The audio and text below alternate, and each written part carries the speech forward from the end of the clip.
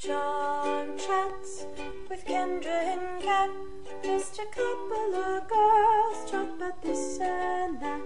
Get familiar with Blue and the charmed ones too. Charmed Chats. Well, hello there. Hi! Hi. Welcome to Charmed Chats With Kendra. and Kat. What what? Yay! We're Blue, such is, dorks. Blue is currently wrapped up like a burrito.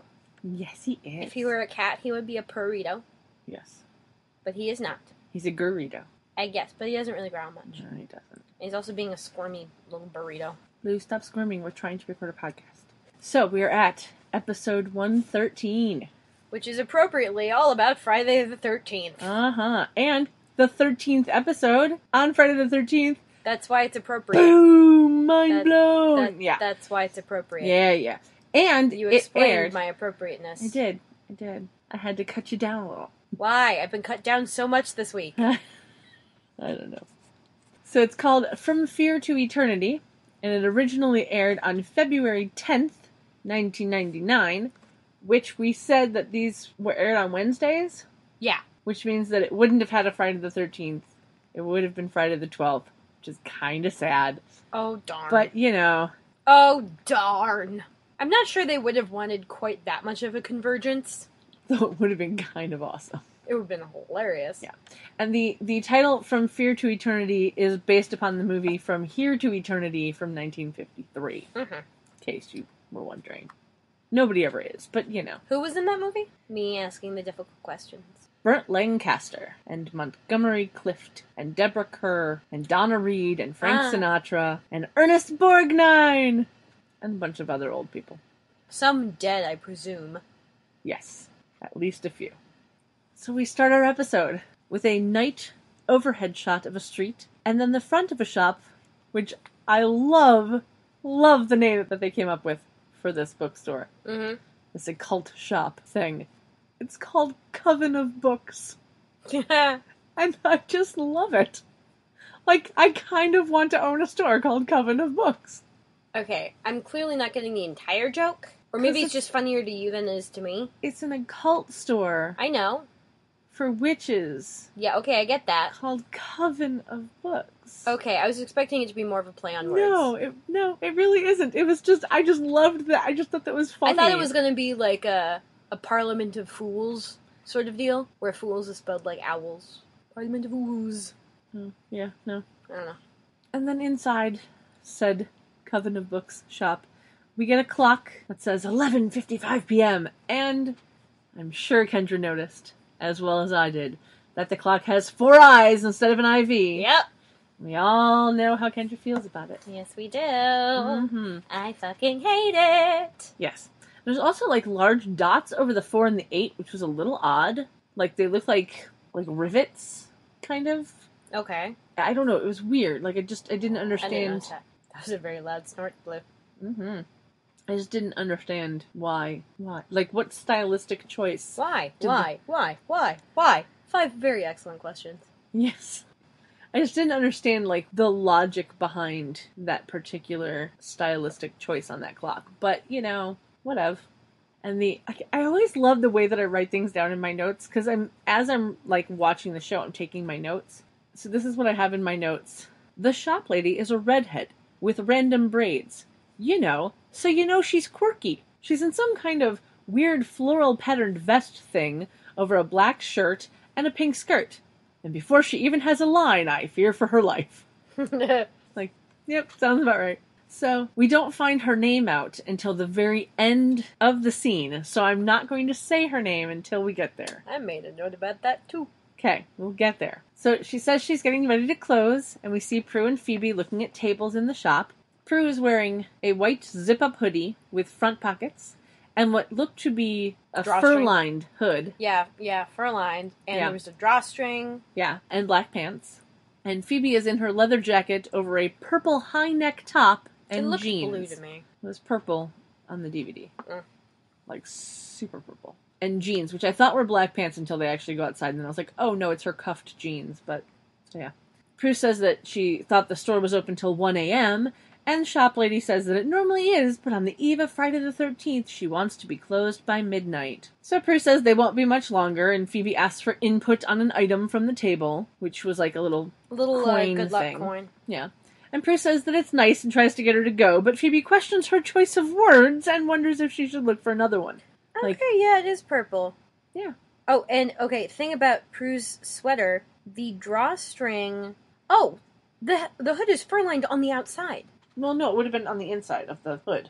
Yeah, but okay, the way the drawstring is, see, the drawstring is going around closest to her neck, so that's the rim of the hood. Oh, so then it's fur The fur lined is on the outside. edge. Possibly. Yeah. yeah, Okay. that's funny. And also, Phoebe's sweater matches that purple beaded hallway behind her. Mm-hmm. It's hilarious. Yeah. Okay, let me take a look at these uh, rivets on that clock face. Yeah, it's like in the very first shot. Yeah, those are interesting. Yeah, it's weird, right? Like it cuts off the four and the eight. Yeah, that may be a design thing, or it could be just to hold the face on. Also, these look at these fucking cherubs. I know. Fucking cherubs. Next to a knight's helmet Because, you know, quirky. and a calculator Mm-hmm. Quirky. with this weird ass floral wallpaper and a random ostrich feather. Mm-hmm. WT fuck. yes. But yeah, so as Phoebe is wondering if she should find another good luck charm, the shop lady once again glances at the clock behind her and Prue tries to rush her again. And Phoebe says that choosing the right good luck charm is a very big decision. And we get a cute sister moment Of where Um, if- says, If they're all good luck, what's the worst that could happen? if you choose the wrong one? Yeah. And then Phoebe comes back with, this is why I like shopping with Piper. And then it's like, okay, fine, let's go to the Prue's register. being a good customer and trying to be like, oh, she wants to close up. Phoebe, let's get the fuck out of here. Yeah. And, you know, you and I both worked in retail. Yeah. We know we don't always get good customers like that. Some of them will walk in five minutes before closing and stay Mhm. for 20. Exactly. And some of them will walk in as you're walking to lock the, The doors door. and be like, oh, but it's not yet. Nah. And we're like, well, we're locking one door so we can lock the other door when the customer is currently in or out. Yeah. So we can leave. So we can fucking leave. Yes. So fucking leave. yes. Absolutely. Because then we still have to, like, Clean do- up and um, count down do the re- drawers and it's not returns. It's, you know, whenever the well, it depends on your job. I I don't remember what we called it at World Market, but uh, it was just basically like Restocking type of thing. not restocking exactly, just like making sure everything is in its place again. hmm So like anything customers left at the tills gets put in like a big ass cart, and several times during a shift, like someone will come back and that's their job to take the shit in the cart and put Mhm. it where it's supposed to go. Yeah. And so we have to do that at the end of the night and go past every fucking shelf and make sure there's not anything out of place.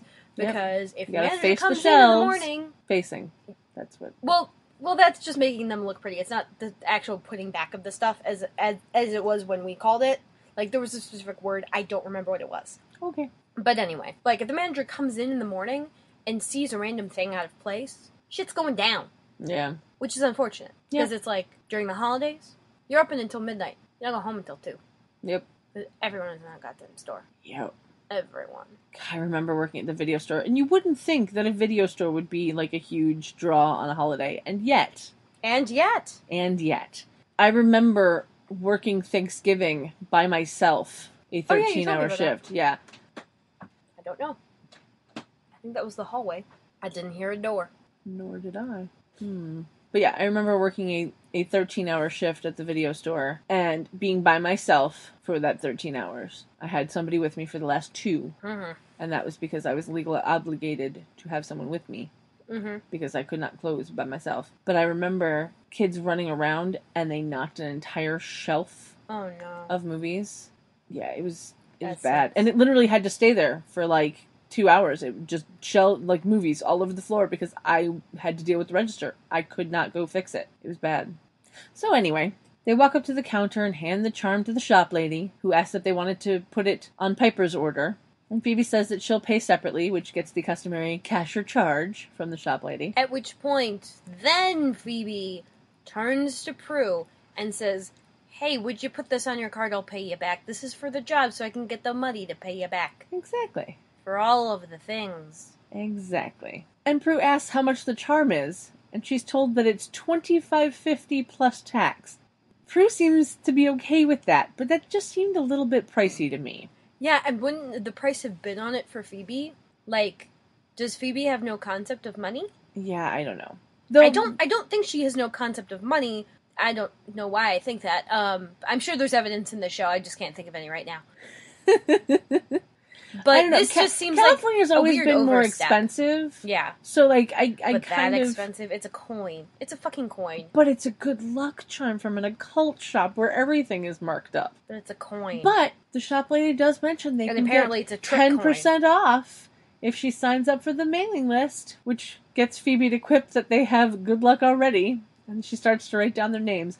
And the pen that she uses to write down the names on the mailing list is covered in stones and crystals, and my very first thought was that must be uncomfortable to hold. Yes, and we get a like Phoebe picks up the pen and is like, "See, good luck already." Yep. and kind of like flips over in her hand, and then we see the shot of her writing, and you see like there's a bunch of names on the list. They're like Mhm. right at the bottom, pretty much, and she's holding it, and all of the crystals are like facing up. Uh huh. Um, towards the top of the page. And then the bookstore lady turns around, glances at them, and then goes, Hey, you know, we've got a Wicca group, and hands him a flyer. Uh huh. And Prue's like, What makes you think we'd be interested? And she's like, Oh, well, most witches are. And then, We never said that we were witches. yeah.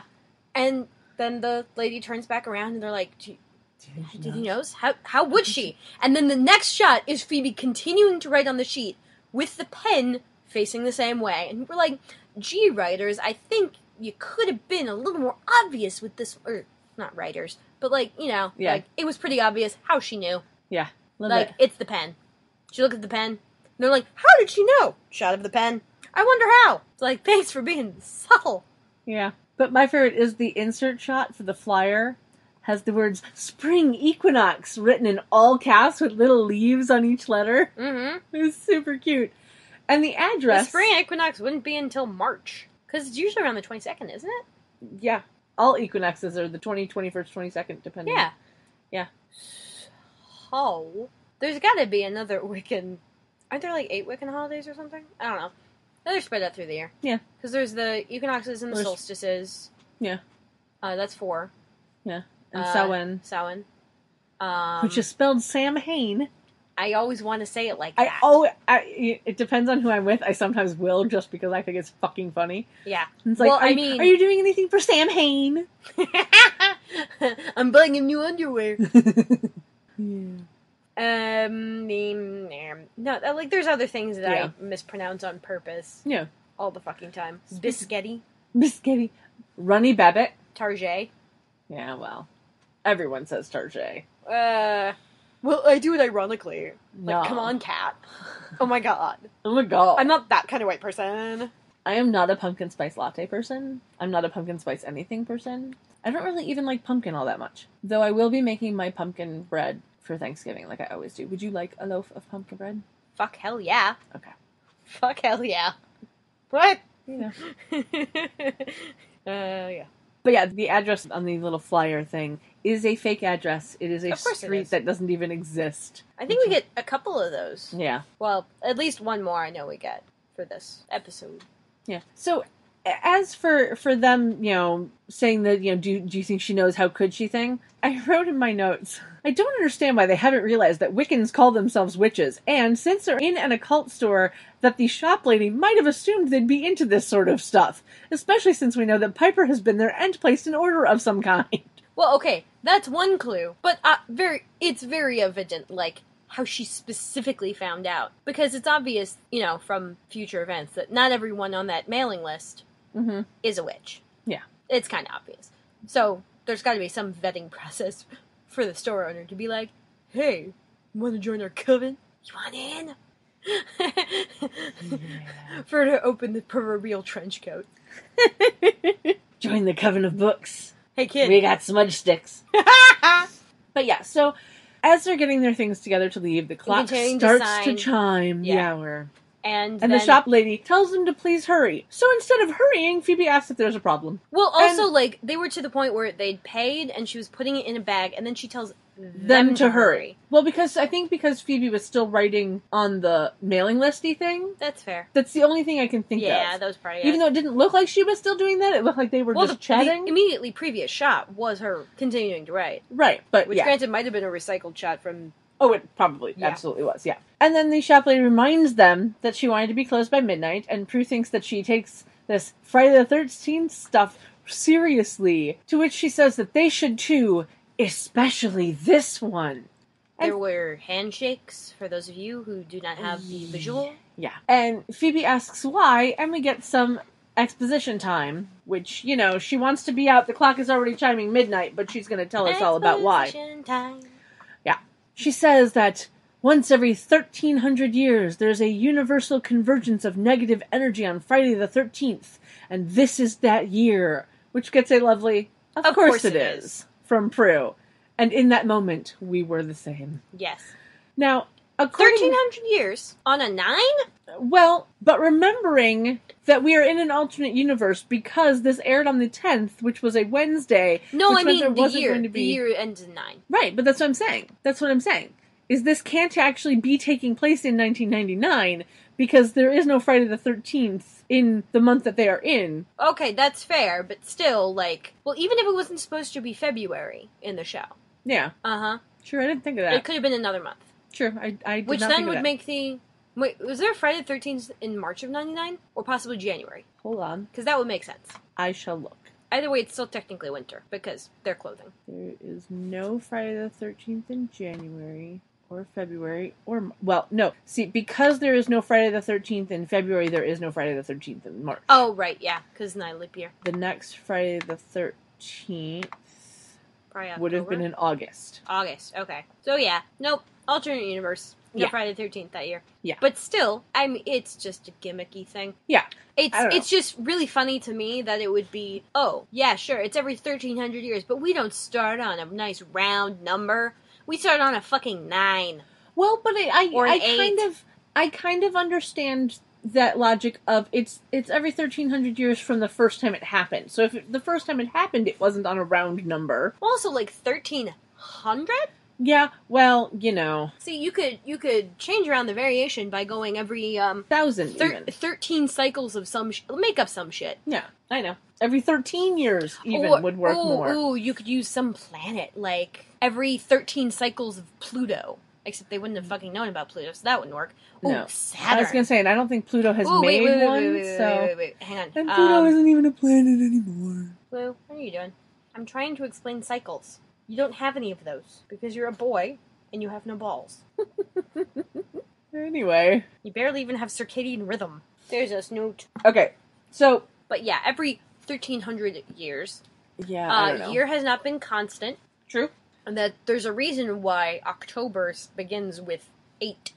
It's because it used to be the 8th month, guys! Yeah, And yeah, then we added a couple. we did indeed. And then we changed calendars. Yep. So, fuck it. Yep. Now, according to the Goof section of IMDb, not sponsored, there is no recorded evidence of any superstitions regarding Friday the 13th before the 19th century, and most reasons for claiming the day is unlucky go back to the Last Supper of Jesus. Now, since that time, there has only been one full cycle of 1300 years, so it would be impossible for such a pattern to exist. According to written history, Mm hmm. And according to whoever wrote the goof in this particular episode. But as the shop lady stops talking, the clock has finished its chimes, and she tells them that it has struck 13, so it's starting already. oh no! Yeah. And as they grab their purchase to leave, Phoebe say, says, Good night, Tangela. Tangela. Now, in my notes, I go, Like Tangelo, but with an A. yeah. So I wrote in my notes, I went, Oh, she's been given a name. I knew it. She's doomed. Yep. But let's talk about this name for a second. Because the first interesting name of the show that we've had was Aviva. Yeah. And now we have Tangela. And I just want to know how many of these characters were named after the people that the writers knew, and how many were named after pets. Exactly, Blue. You drank too fast. Okay. Also, a weird angle. Yeah, poor puppy. But seriously, like, how many were named after people the writers knew, and how many were named after pets? Because Tangela sounds like something you would name a puppy. Or a cat. Like, it just, Why would you name a puppy Tangela? I don't know. Also, I keep saying it Tangela. Like Tangelo. Like Angela, the T in front of it. Yeah. It's Tangela. That's a weird color for Jello. it's Tangela Weird. Ooh, What flavor do you think that'd be? beige. it's bacon. gravy. Dude, if somebody made Oh my god, that's like bacon gravy Jell-O. with extra cornstarch. It really is. Or like maltodextrin or what I don't know, some gastronomic thing. agar agar. Yeah. I don't know. I only know what any of it is because sometimes they Chopped. use it on chopped. Yeah. Yeah. Also, I love that I finally got an answer to whether or not Ted eats the food. Yeah, you're welcome. Thank you so much. Uh huh. Because I have looked that up before. Mm-hmm. Yeah. The answer being not really, but sometimes. Well, also like they all just eat it cold. Yeah. They That go. was- they run over to the stations the second they're done. It tastes like the stuff that needs to be hot, Yeah. and then they wait because it's usually like twenty minutes, Yeah. And least. then they'll come back in, and then they'll judge. yeah. I just thought it was fascinating that like it takes like 16 hours to record an episode of that. Yeah, like twelve or sixteen hours. Yeah. Anyway, back to this show. But of course, her name is Tangela, Tangela. Yeah. because So- they had to think of a weird name. Mm-hmm. Because she's quirky. Oh my god! Uh-huh. So we cut to outside, and Prue and Phoebe walk across the street and get in Prue's little black convertible and drive off. Fast. Like screeching tires and everything. Mm-hmm. And we see that they're they have been parked over a manhole, which is billowing steam. Mm-hmm. And then a light appears out of this manhole, and Yep. appears a man. Wearing a very long black jacket Yes. over a black turtleneck and black pants. So he's a black hole. He's Uh-huh. a manhole. Yep. That was a bit of a stretch. A little bit. I'm cool with it. Okay. And he puts his arms out like a Jesus on the cross pose and, And starts sniffing. the air. Yeah. Oh my god! Like, super weird. like, hey, is someone making popcorn kind of sniff? But his nostrils are fucking ginormous. yeah. Oh man. And I had flashbacks when I saw that guy. I'm like, oh yes, you. I like you. You good. Oh, well, man. he's not. No. No, he's not. Good actor. Yes. And then so we cut back inside and Tangela is blowing out the candles and she looks around nervously before turning off the light. And then Smoke Dude knocks on the door and she says that they're closed and, And turns off of looks another like a light. floating head. Uh, well, a little because he's black on black. and you can't see his hands. Yeah. But then he'd be a floating head with floating hands. Yeah. And he just kind of like dead faced knocking. Yeah. She's like, yeah, we're closed. And he knocks again louder. louder. And, the she camera's like in on his face. Yeah. And she's like, fuck you, no, we're closed. But not after walking into a beam of light on her face. Yeah, well, you know. And then he just walks through, Through the the, door, door, like a ghost, Yeah. yeah. just phases through it. It kind of the effect is interesting. It kind of like bubbles around him, Uh huh. and then he's through. And she's like, "Oh my god," which I thought was a weird proclamation Yes. from an occult person Yes. from Absolutely. from Witch. Like, and Okay. he, but his his was not to me, witch. And like the way he said it was like you knew he was trying to call her a bitch. You know, like that's that's it's like not me, bitch. You know, like I don't know. I, I I saw that more of a I know he was. Yeah. well, yeah. It, I get the I get that the purpose was to be like, "Oh, he knows you're a witch." Like, yeah. Well, and Be, and make no mistake. yeah, and and it was to to use the word witch as a bad thing, like like Okay, which yeah. is an insult. Was like how I took it. Wait, witch is an insult? Yes. No, wi- witch is an insult. Yes. Which? Yes. but which one? Yes. But which one is an insult? I don't know. Third base. All right. So Tangela picks up what is apparently an amulet. Some kind of It was amber a, looking orb. It was like a bright red fucking crystal. Oh, okay. It was dark. I couldn't really see what it was. Yeah. Well, they show it later. Oh, true. It falls to the ground. But yeah, it was a bright red fucking crystal. Yeah. Well, like a crystal ball. No, like, like it was a ball. no. I'm pretty sure it was a ball. It was like a diamond shape when it fell to the ground. Maybe there's a diamond shape in it.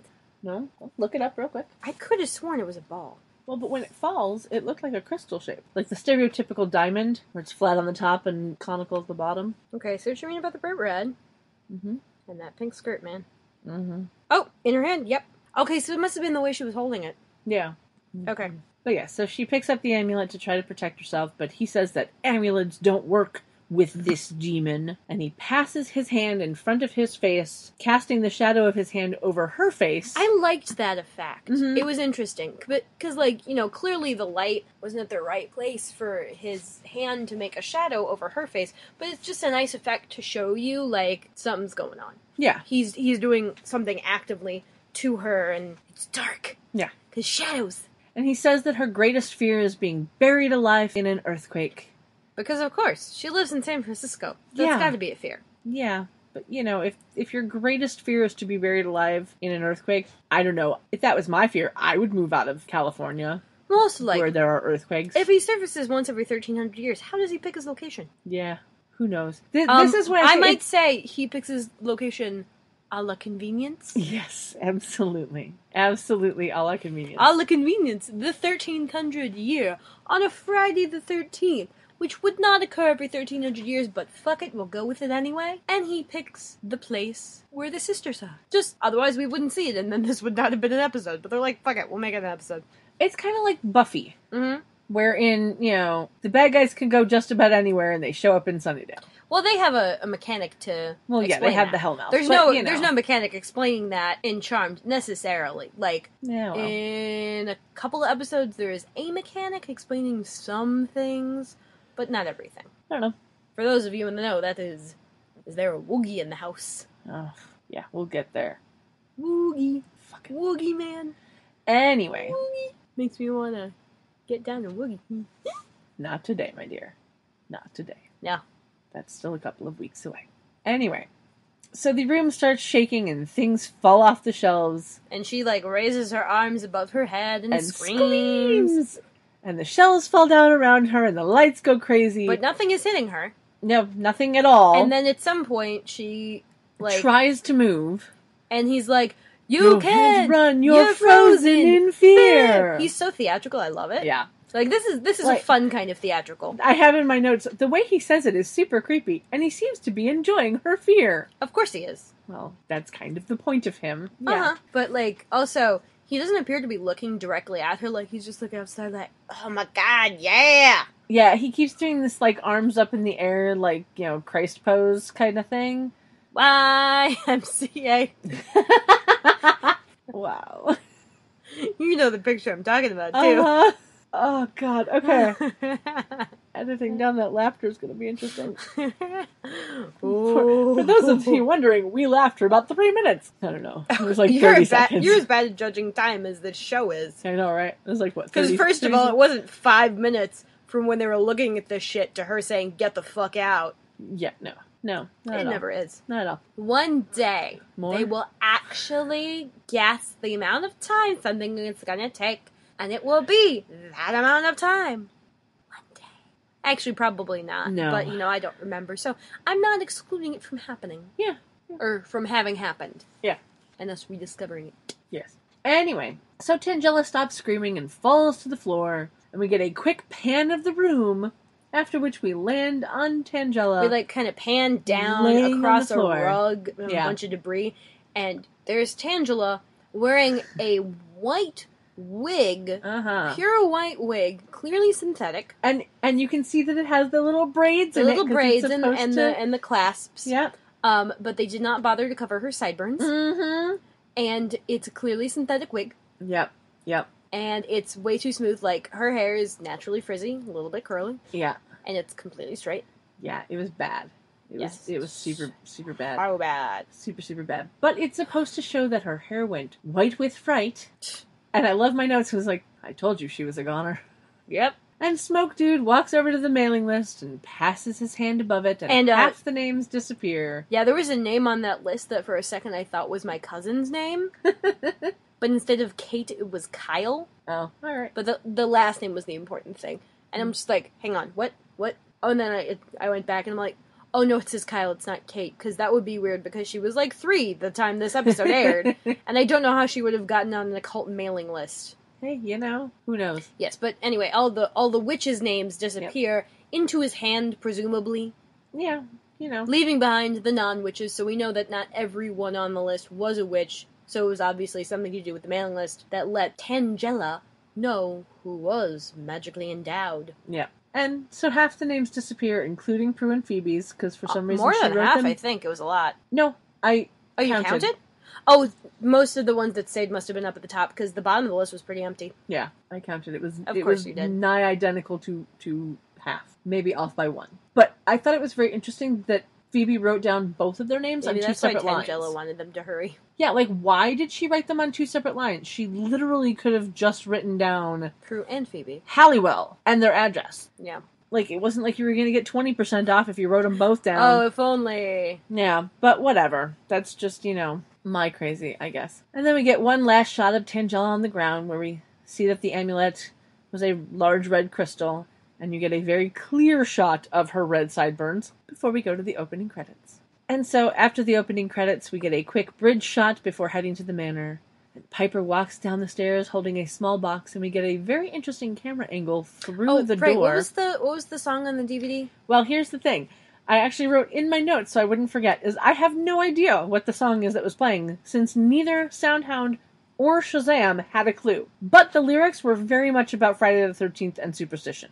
Oh, okay. So it was a very like maybe it was written for the show Okay. type thing. What was it on Netflix? I don't. Didn't I text you about it? I forget. I don't think so, not this one. This one I I don't think I could find because there wasn't really anything identifiable. The lyrics were kind of generic. Interesting.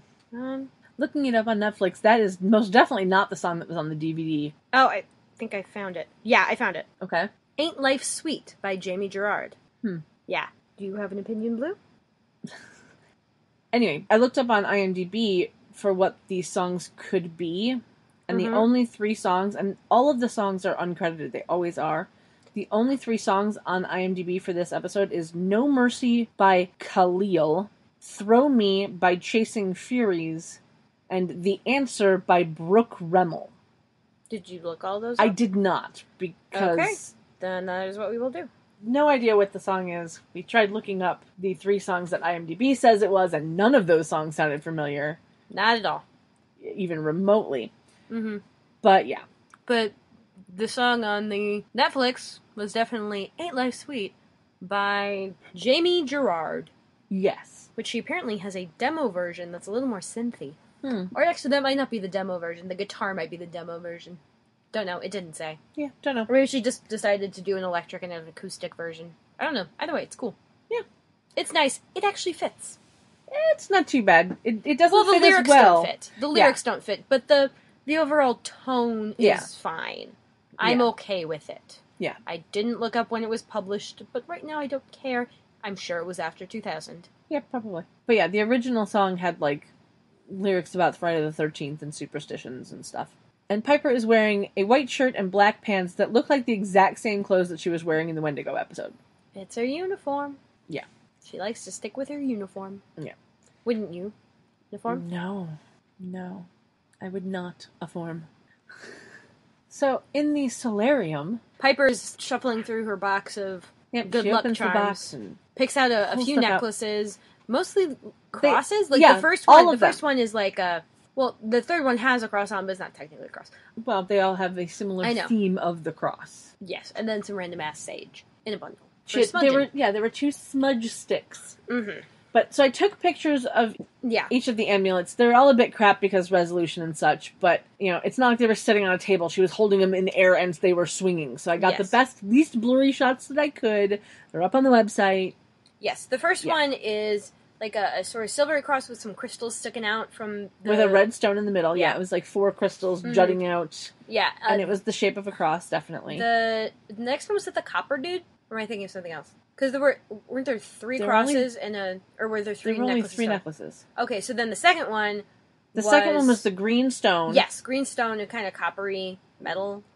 I don't know. It was. It looked tarnished, so I don't know what it could have been, but it looked like it- it was surrounded by four. It looked like fleur de lis, kind of, but Well, it like, looked like it was supposed only to the be a top cross, half of fleur de lis, so it kind of looked like birds. Yeah, And the third one is a pendant with a cross that looks like it's being held by a hand, and, and there's some, like birds and stuff around it and whatever.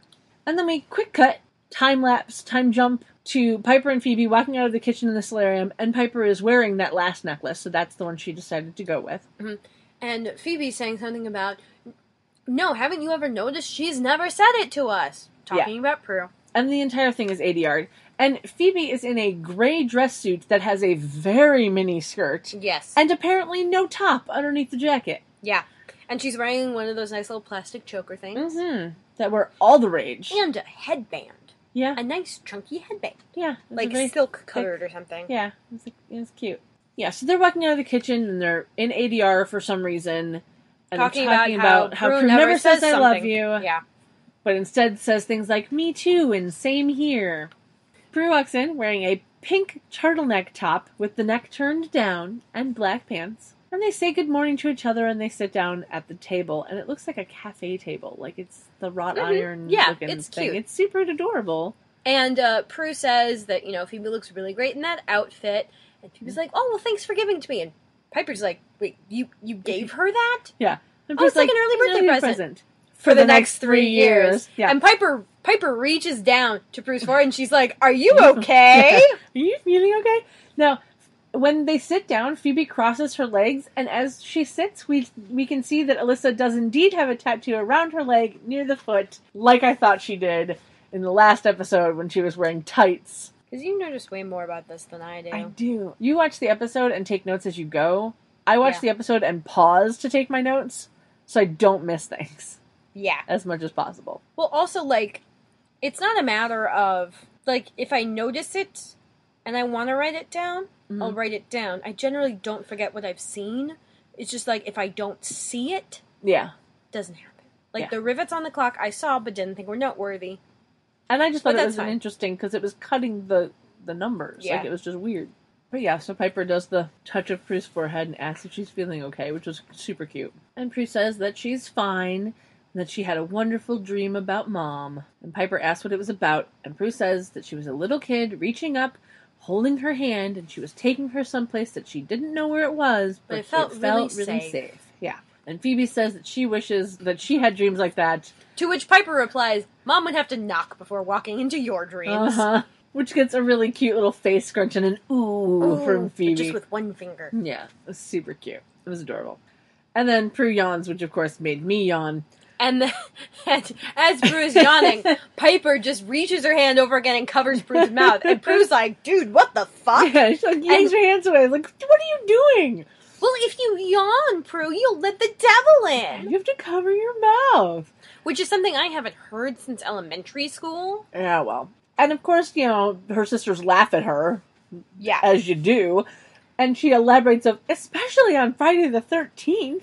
Like, Piper is about as much into the whole Friday the 13th shit as Tangela was. Yeah, but, you know, But she's clearly not quirky because she doesn't have braids. Yep.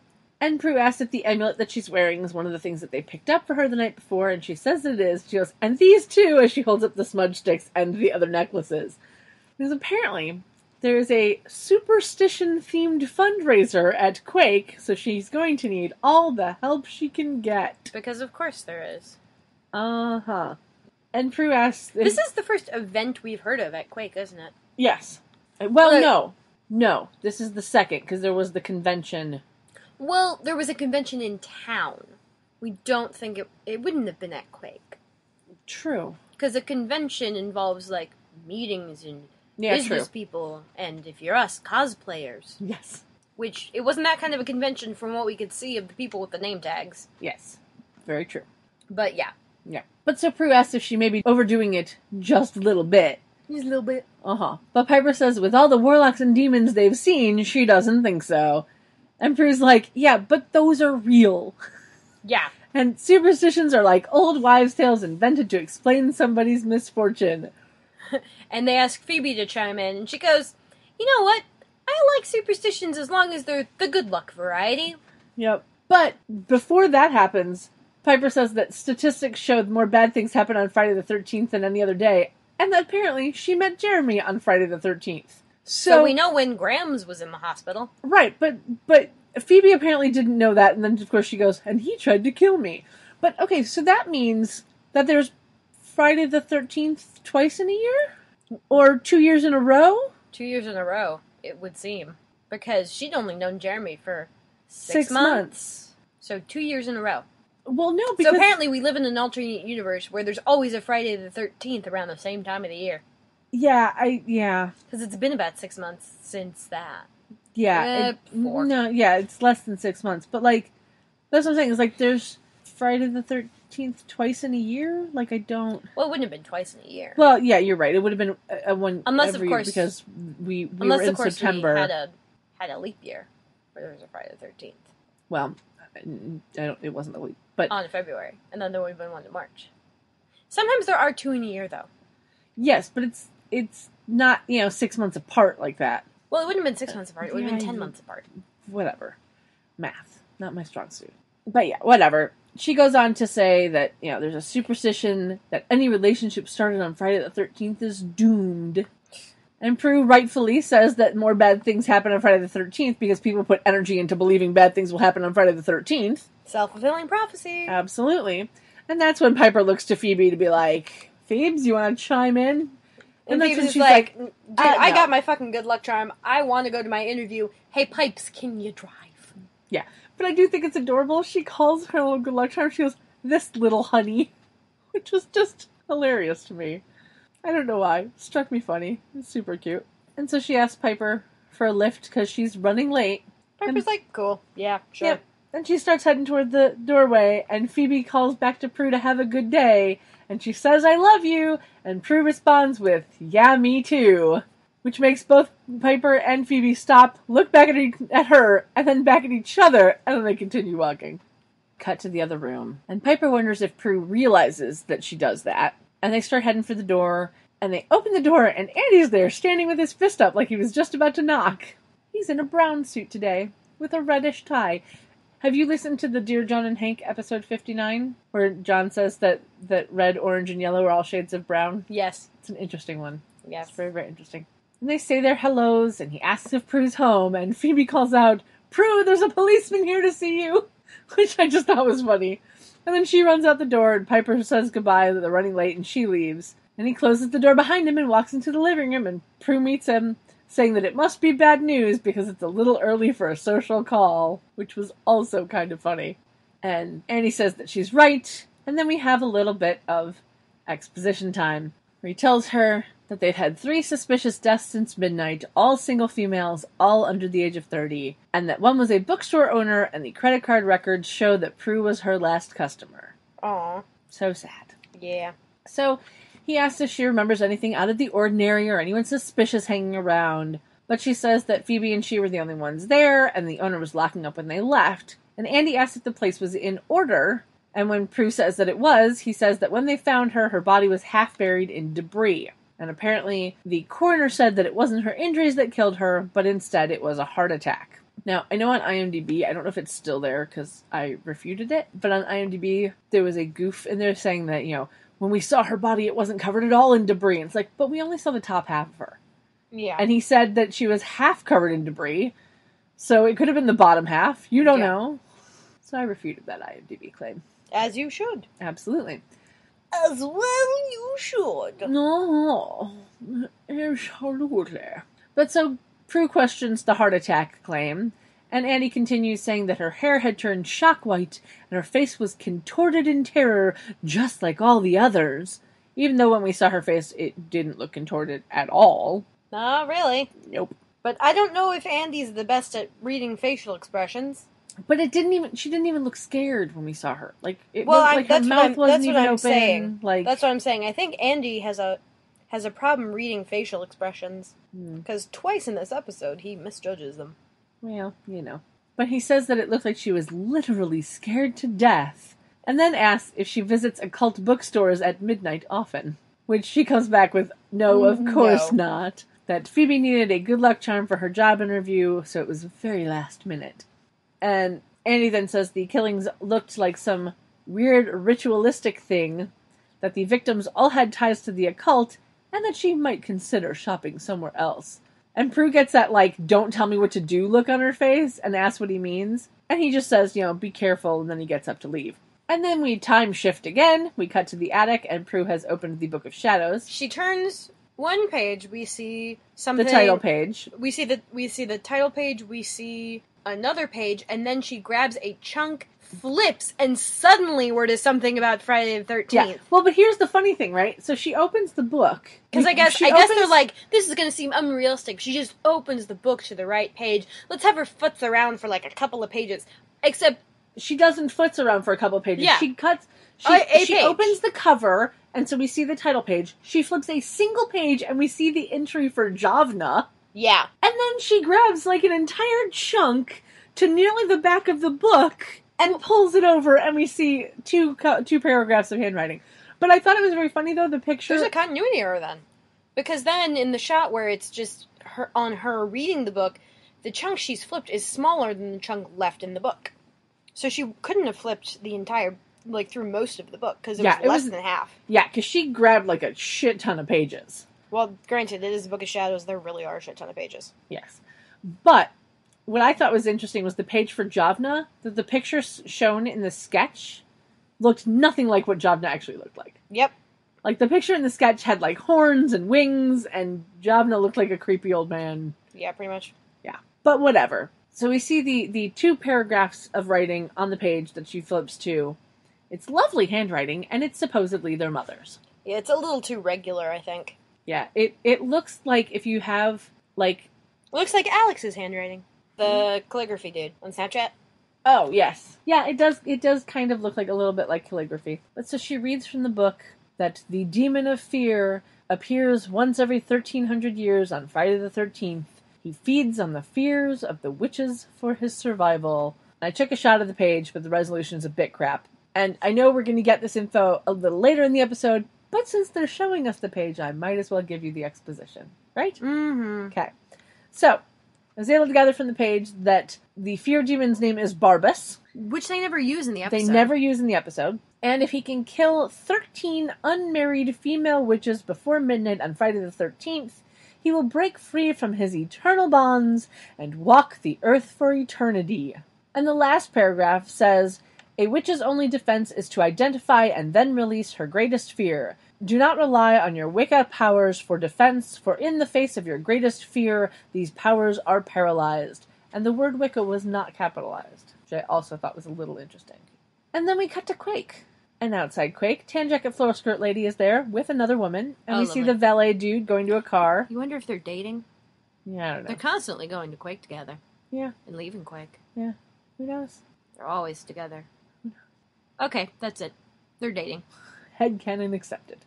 And then we go inside and we see Piper talking to a woman in a gray dress holding a roll of tickets. Is that was that Shelley? No. No, it I it looked like it might have been, but I wasn't paying too close of attention. I don't think it was. I just know it was a blonde with a hair in a ponytail. Like that's all I remember. Yeah. I don't know. But Prue then comes up behind her, so we have jumped time yet again. Well, she tells she tells the girl that they need a table for taking tickets because apparently there's a raffle happening at this fundraiser, and then like starts looking down at her clipboard. At which point, Prue walks up behind her, and, And we get a quick shot of a blonde man wearing a red top and dark brown pants. isn't it a and he- turtleneck? yeah, and it looks like he could be a model. And Piper is depth staring. Yes, but we also see a waitress walk by in a very skimpy outfit that looks like a cross between a Halloween costume of a cat and an ice skating dress. Yeah. It was super, super tiny. Yeah. But I digress. And then, of course, Prue sees where Pipes is looking hmm And startles Piper by, by asking, her who about he it. is. Yeah. And she says his name is Lucas Devane, and he's chairing the fundraiser for the Children's Hospital. Now, why are you having a fundraiser for a children's hospital where the theme is superstition? That is just It's silly. just weird. Also, it's not October. Black Cats, Halloween. I can see Well, but some it was- it was- stuff happening. But it was black cats because of superstition I of to not have a black cat cross I your know, path. but that would fit in better for Halloween. yeah. Like if it was around Halloween, I could see that happening more for Children's Hospital. But in the middle of fucking, fucking February. yeah, I don't know. Hmm. I don't know. Also, I'm calling him Mr. Vane now. It's Devane. Miss Dervane, yes. Anyway, I'll just call him Lucas because that's his name. And he's not creepy, and he doesn't die, even though they've given him a name. Well, they give him a last name. Yeah, true, That's the important part.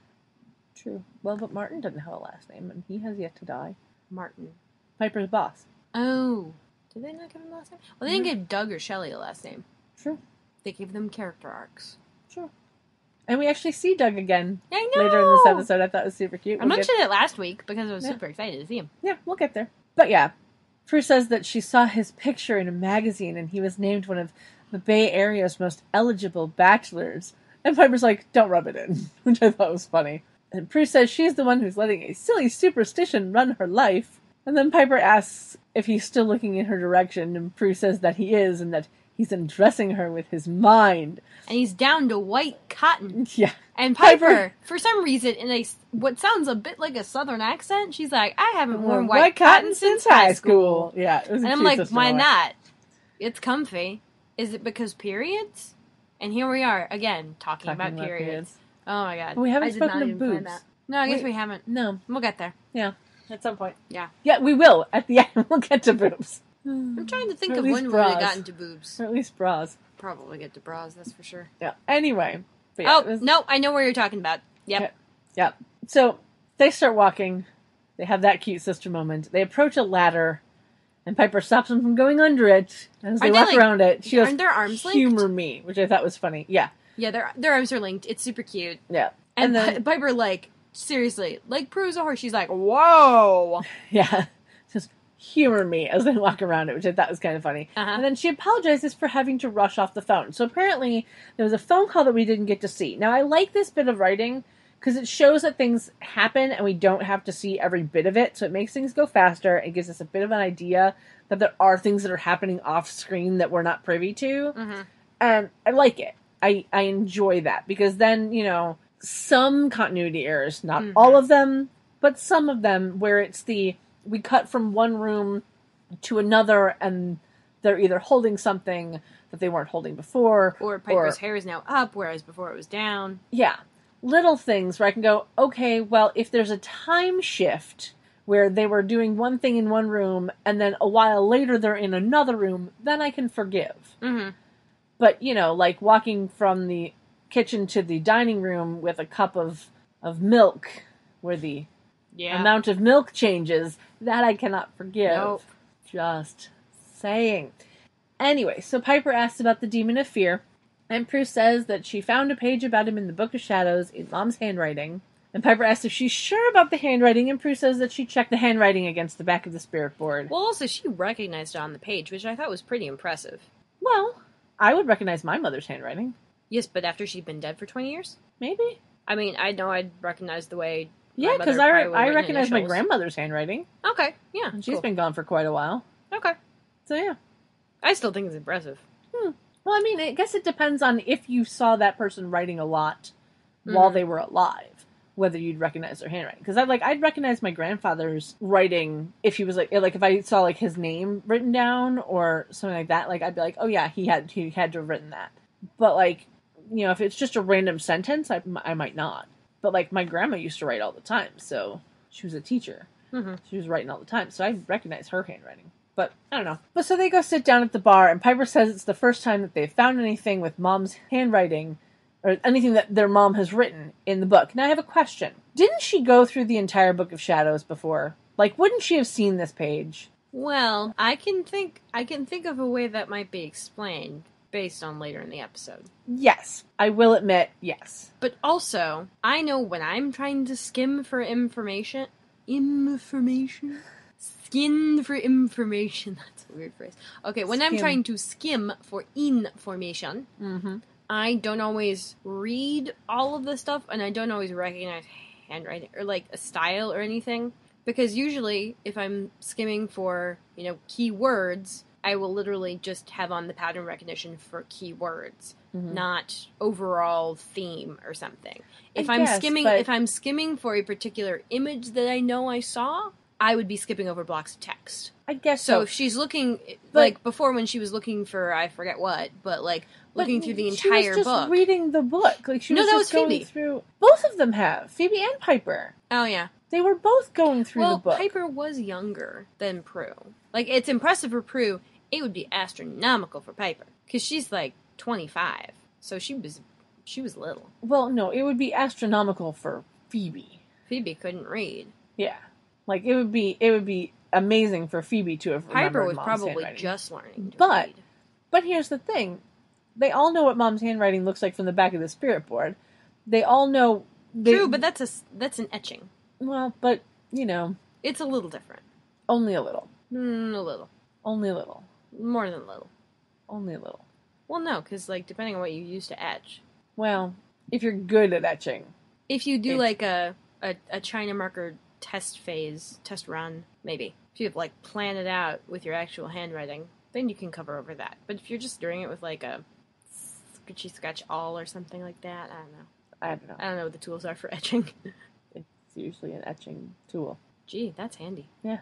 Anyway, so Piper questions the or the or she's you know surprised about seeing mom's writing something in the book, and Prue says that their mom must have known that this demon would appear in their lifetime, and she wanted to warn them against him. And of course, Piper rightfully doesn't like the sound of that. Nope. And then Prue tells her about the killing thirteen unmarried witches before midnight bit, and Piper comes Like, back with like single people don't have enough problems. yeah, it was very funny. Which okay, it's just Like- super annoying. It's like, oh, they've got to be married. Yeah, unmarried. Well, no, I mean like to be safe, you have to be Oh, yeah. married. Like, it, mm. Yeah, I know.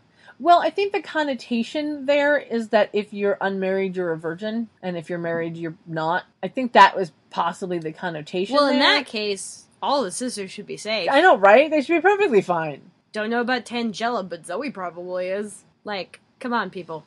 20th century. Yeah, well, you know. 20th century. yeah, indeed, Late 20th century. Practically the 21st. but not yet. Not yet. Not yet. But it's basically margin of error. Within the margin of error, it's less than a year. Hmm. So let's call it 21st century. Yeah. Modern. It's certainly in the modern, era. century. Yeah, modern era. Or is it in the postmodern era? No, that'd be No. no. that'd be meme culture. Unfortunately, hmm but yeah. No, so, fortunately, well, I fucking love meme culture. You kidding me? So Piper asks how they can stop him, and Prue says that she doesn't know, and then it mentions how he turns a witch's greatest fear against them, and the bit about their powers being paralyzed in the moment. And that's when Piper has another funny line of, We're on the most wanted list and we're defenseless? Fuck this shit.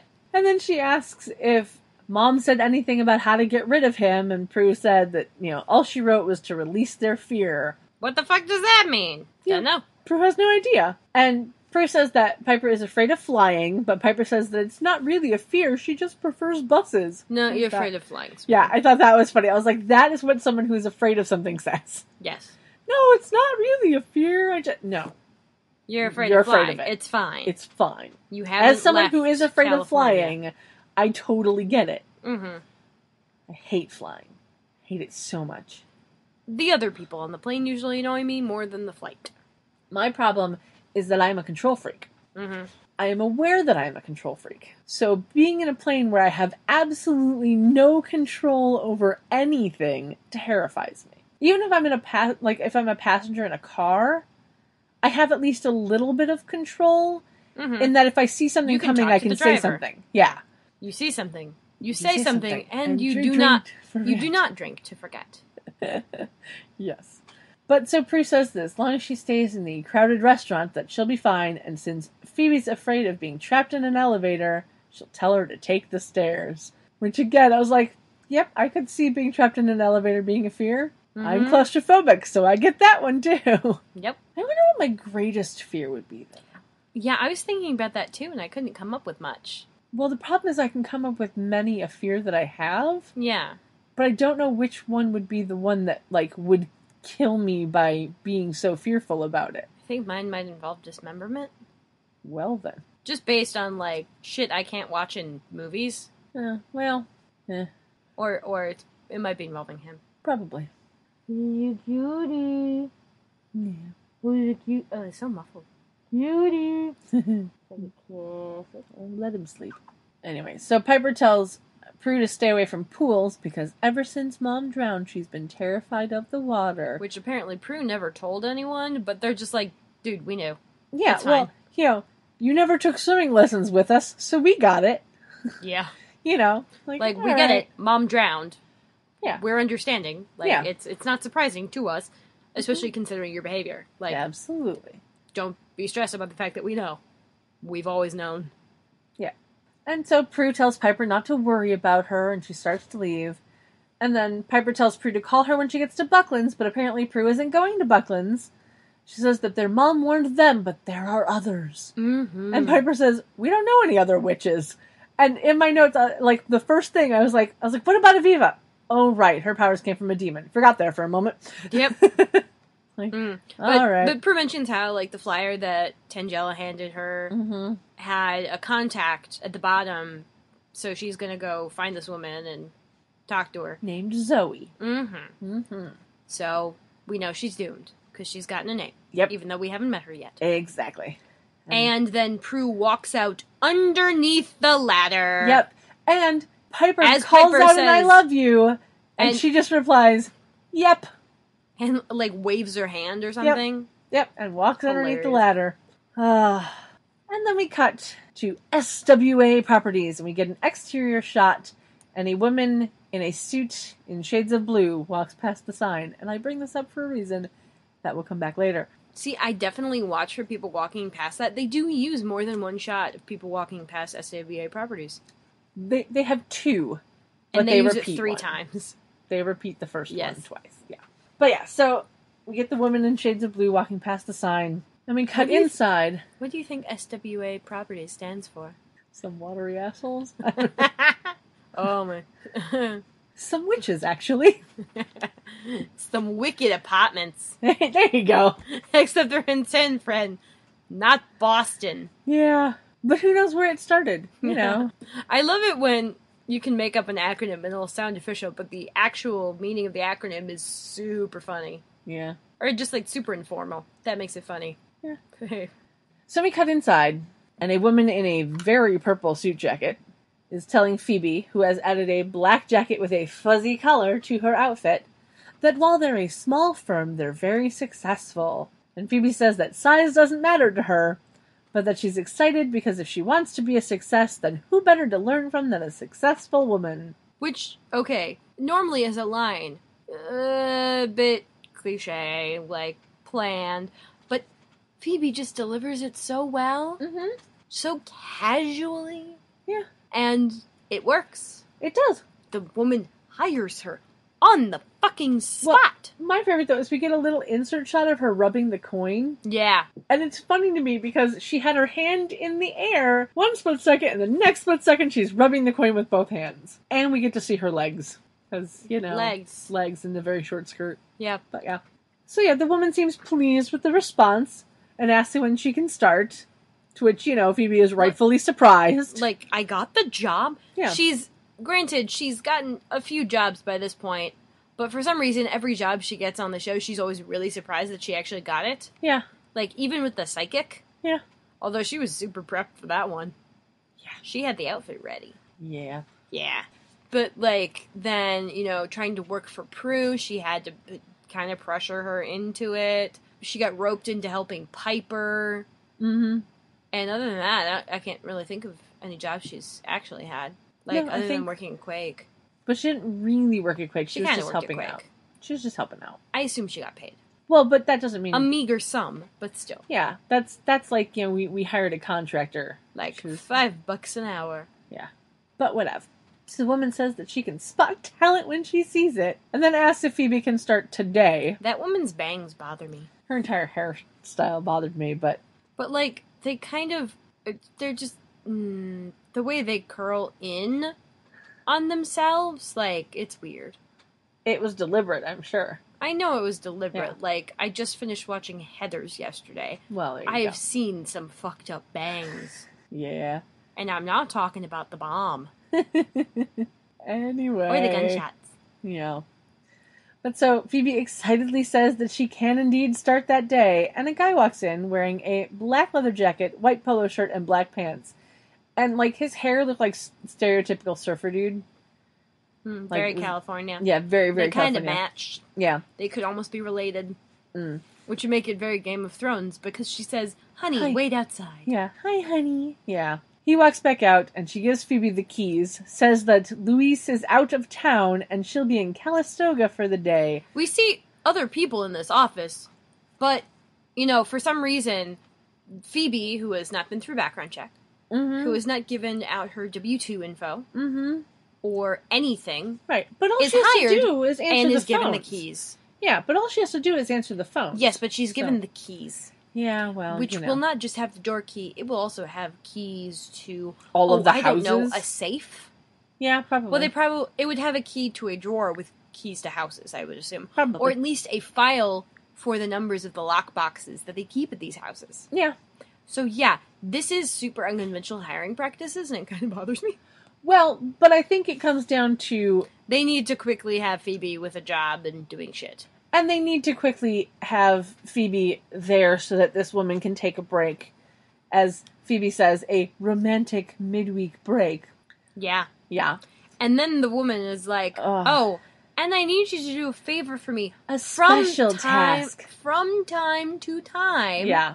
If my husband calls, I need you to cover for me. And Phoebe is just dumbstruck. Yeah, she gets wide eyes. She, she starts looks laughing over she looks over at the blonde dude she does this awkward like startled like huh huh kind Uh-huh. of laugh Yeah. and um And then tentatively it was like, sure. sure Yeah. yeah, totally It'll be, it'll be our little secret. Like, of course. yeah i'm uncomfortable Mhm. i'm covering it up by agreeing to everything you say Exactly.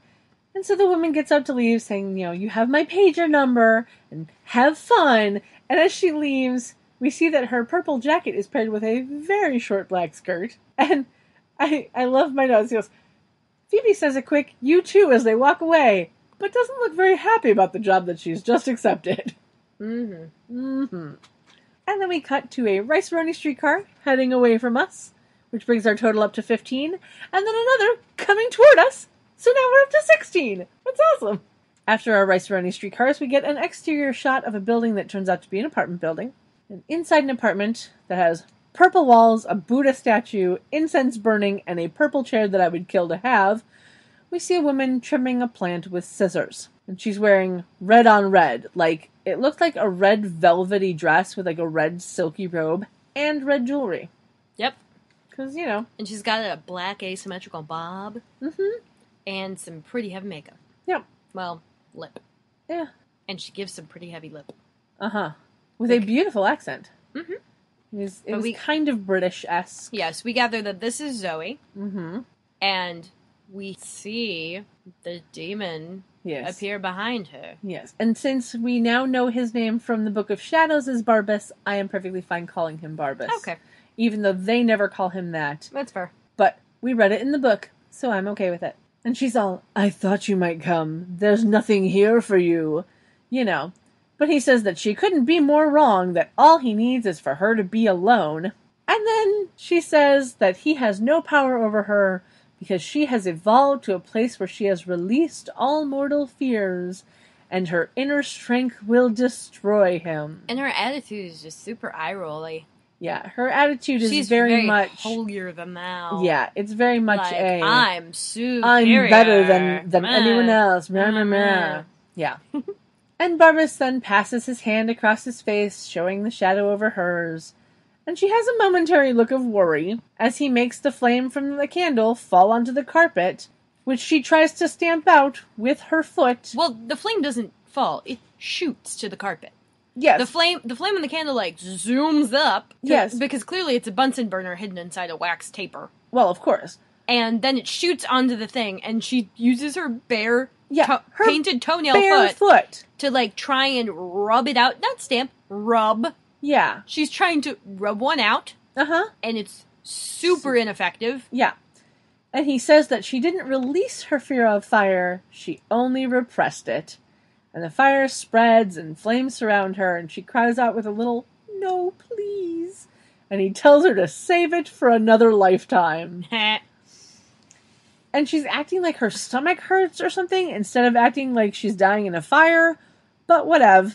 well, I mean, they don't die of the thing they're afraid of. They die of Fear. Yeah, but like, dying of fear does not mean your stomach hurts. Like, I just, it was the way she was acting was just odd. well, stress makes you do all kind of weird things.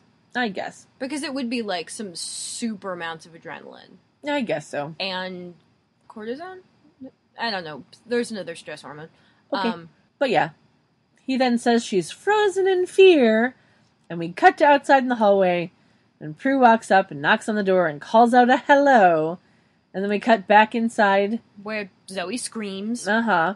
Prue hears this and magics the door open. Yeah, even though we hear no sound in the hallway when she's out there, there's absolutely no sound happening when we cut to Prue. but she supposedly hears this scream that ends before we cut back to Prue. It was Mhm. weird. And so yeah, so she magics open the door and she walks inside. And Zoe is lying in a smudged circle. Yeah. Like it's not even It's a ring of smoke and scorch marks. it's barely even scorch marks. It's like someone just took like a little bit of crushed up charcoal and drew it with their fingers. Yeah. Like it's it's bad. It's not it's not distinct. It's just kind of like, oh look, it's really dark over here, but not like really dark, just like kind of dark. Like we want it to look smoky, but we don't want to have actual smoke. Yeah. And she's lying dead on the floor in the middle of the ring with her eyes wide open and a wig of white hair. Mm-hmm. And, And, we again, get commercial break. you can see her sideburns. Yep, indeed. Yeah, super bad wig. Super Another duper. super bad wig. Slightly more realistic because her sideburns are mostly covered, and it's at least the same texture as her hair. Ish. ish. It's still clearly synthetic. Well, yeah. But then we get a commercial break, and we come back. We get a quick establishing shot of the building before we're back in the apartment. Hi, Blue. Could, could you not have your ear in my face? What'd you smell, Poppy? What'd you smell? Probably the muffins. over Or the chips. there. And the police and photographers are there. Sorry, crisps. Crisps. Police and photographers are there, and I always think it's interesting the things that I write in my notes. Because none of them are wearing booties over their shoes. CSI would be very upset with these people. Oh, yep. But at least the one guy in the background who's like wiping for fingerprints is wearing gloves. So there's that. Small favors. Yeah. And Andy walks up to Darryl, who gives him an odd look about his shoes. We see the shoes. see. They're dirty white sneakers instead of his dress shoes, so I understand the look. Darryl is in a gray jacket, white shirt, black pants, and a patterned tie. CSI would be especially miffed about Andy's shoes. Well, yes.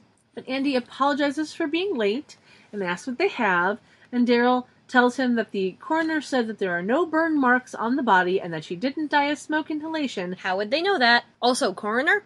Yeah, I know, it should be medical examiner, but apparently California's weird. Whatever. And he well, says, they call them inspectors. Yeah, exactly. And he says that her heart gave up just like the others. Gave out. Gave up. what? He said gave up. He said gave up. He said gave up. What? He said I'm fairly certain that he said gave up. What? I- I'll be honest, I could be wrong, but I'm fairly certain he said said it gave up. And that he also can't believe that Andy is wearing his cereal shoes, air quotes. Which And- cereal does he mean? yeah. And Andy says that they're his good luck charms, and Darryl says they're embarrassing. Because they are. hmm And Andy says that this is the fifth woman with ties to the occult that's been found dead since midnight. Which means that another woman died post confronting Prue. Mm-hmm. So Barbas is, you know, doing his job. We've seen two deaths out of five. Yep. So it, it's nice. It's nice to know that he's just not literally going after the people we see, Yes. because that would just be annoying. Yes. And also, how the fuck would he get to thirteen if he's only got two by noon? Yeah, absolutely. And he says, you know, tell me that's not the work of some serial nutcase. To which, of course, Darryl says that he can't, but that just still doesn't mean that the shoes aren't embarrassing, which was very funny. so maybe that's the kind of serial he means. Yes. And a cop calls Darryl over to have a look at something, and he goes over to talk to him. And Andy looks under the sheet that's covering the body, and we get a lovely insert shot of Zoe. And just like with Tangela, we can see her sideburns aren't white, which is an easy mark that she's wearing a wig. Well, also the the hairline. Well, yeah, that too. And then Darryl comes back and says the doorman keeps a visitor sign in log, And guess who the last person to see the victim was? and Andy, Andy guesses very it's- reasonably says the it's killer. the killer, and and Darryl's like, dude, it was It fucking was Prue. Prue. Yeah. Fucking again. Yeah. He tells it to him gently. It was a gentle telling. I well, he mm, he's clearly also fed up with this coincidental shit. Yeah. And then we cut to Quake. Mhm. And Prue and Phoebe and Piper are sitting at a table with salads in front of them. Mm-hmm. Clearly having lunch, Uh huh. And Piper is now in a little black dress, so she's getting ready for the fundraiser tonight. which we find out later is actually a top and a skirt, but.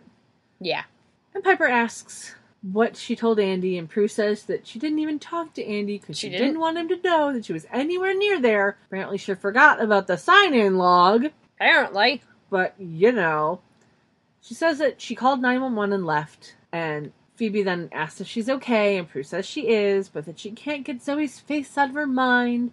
And she starts to elaborate, and Phoebe shuts her down, like, I'm terrified enough, thanks so much, and asks, Now what? And Piper says that they avoid any place that he can use to terrorize them.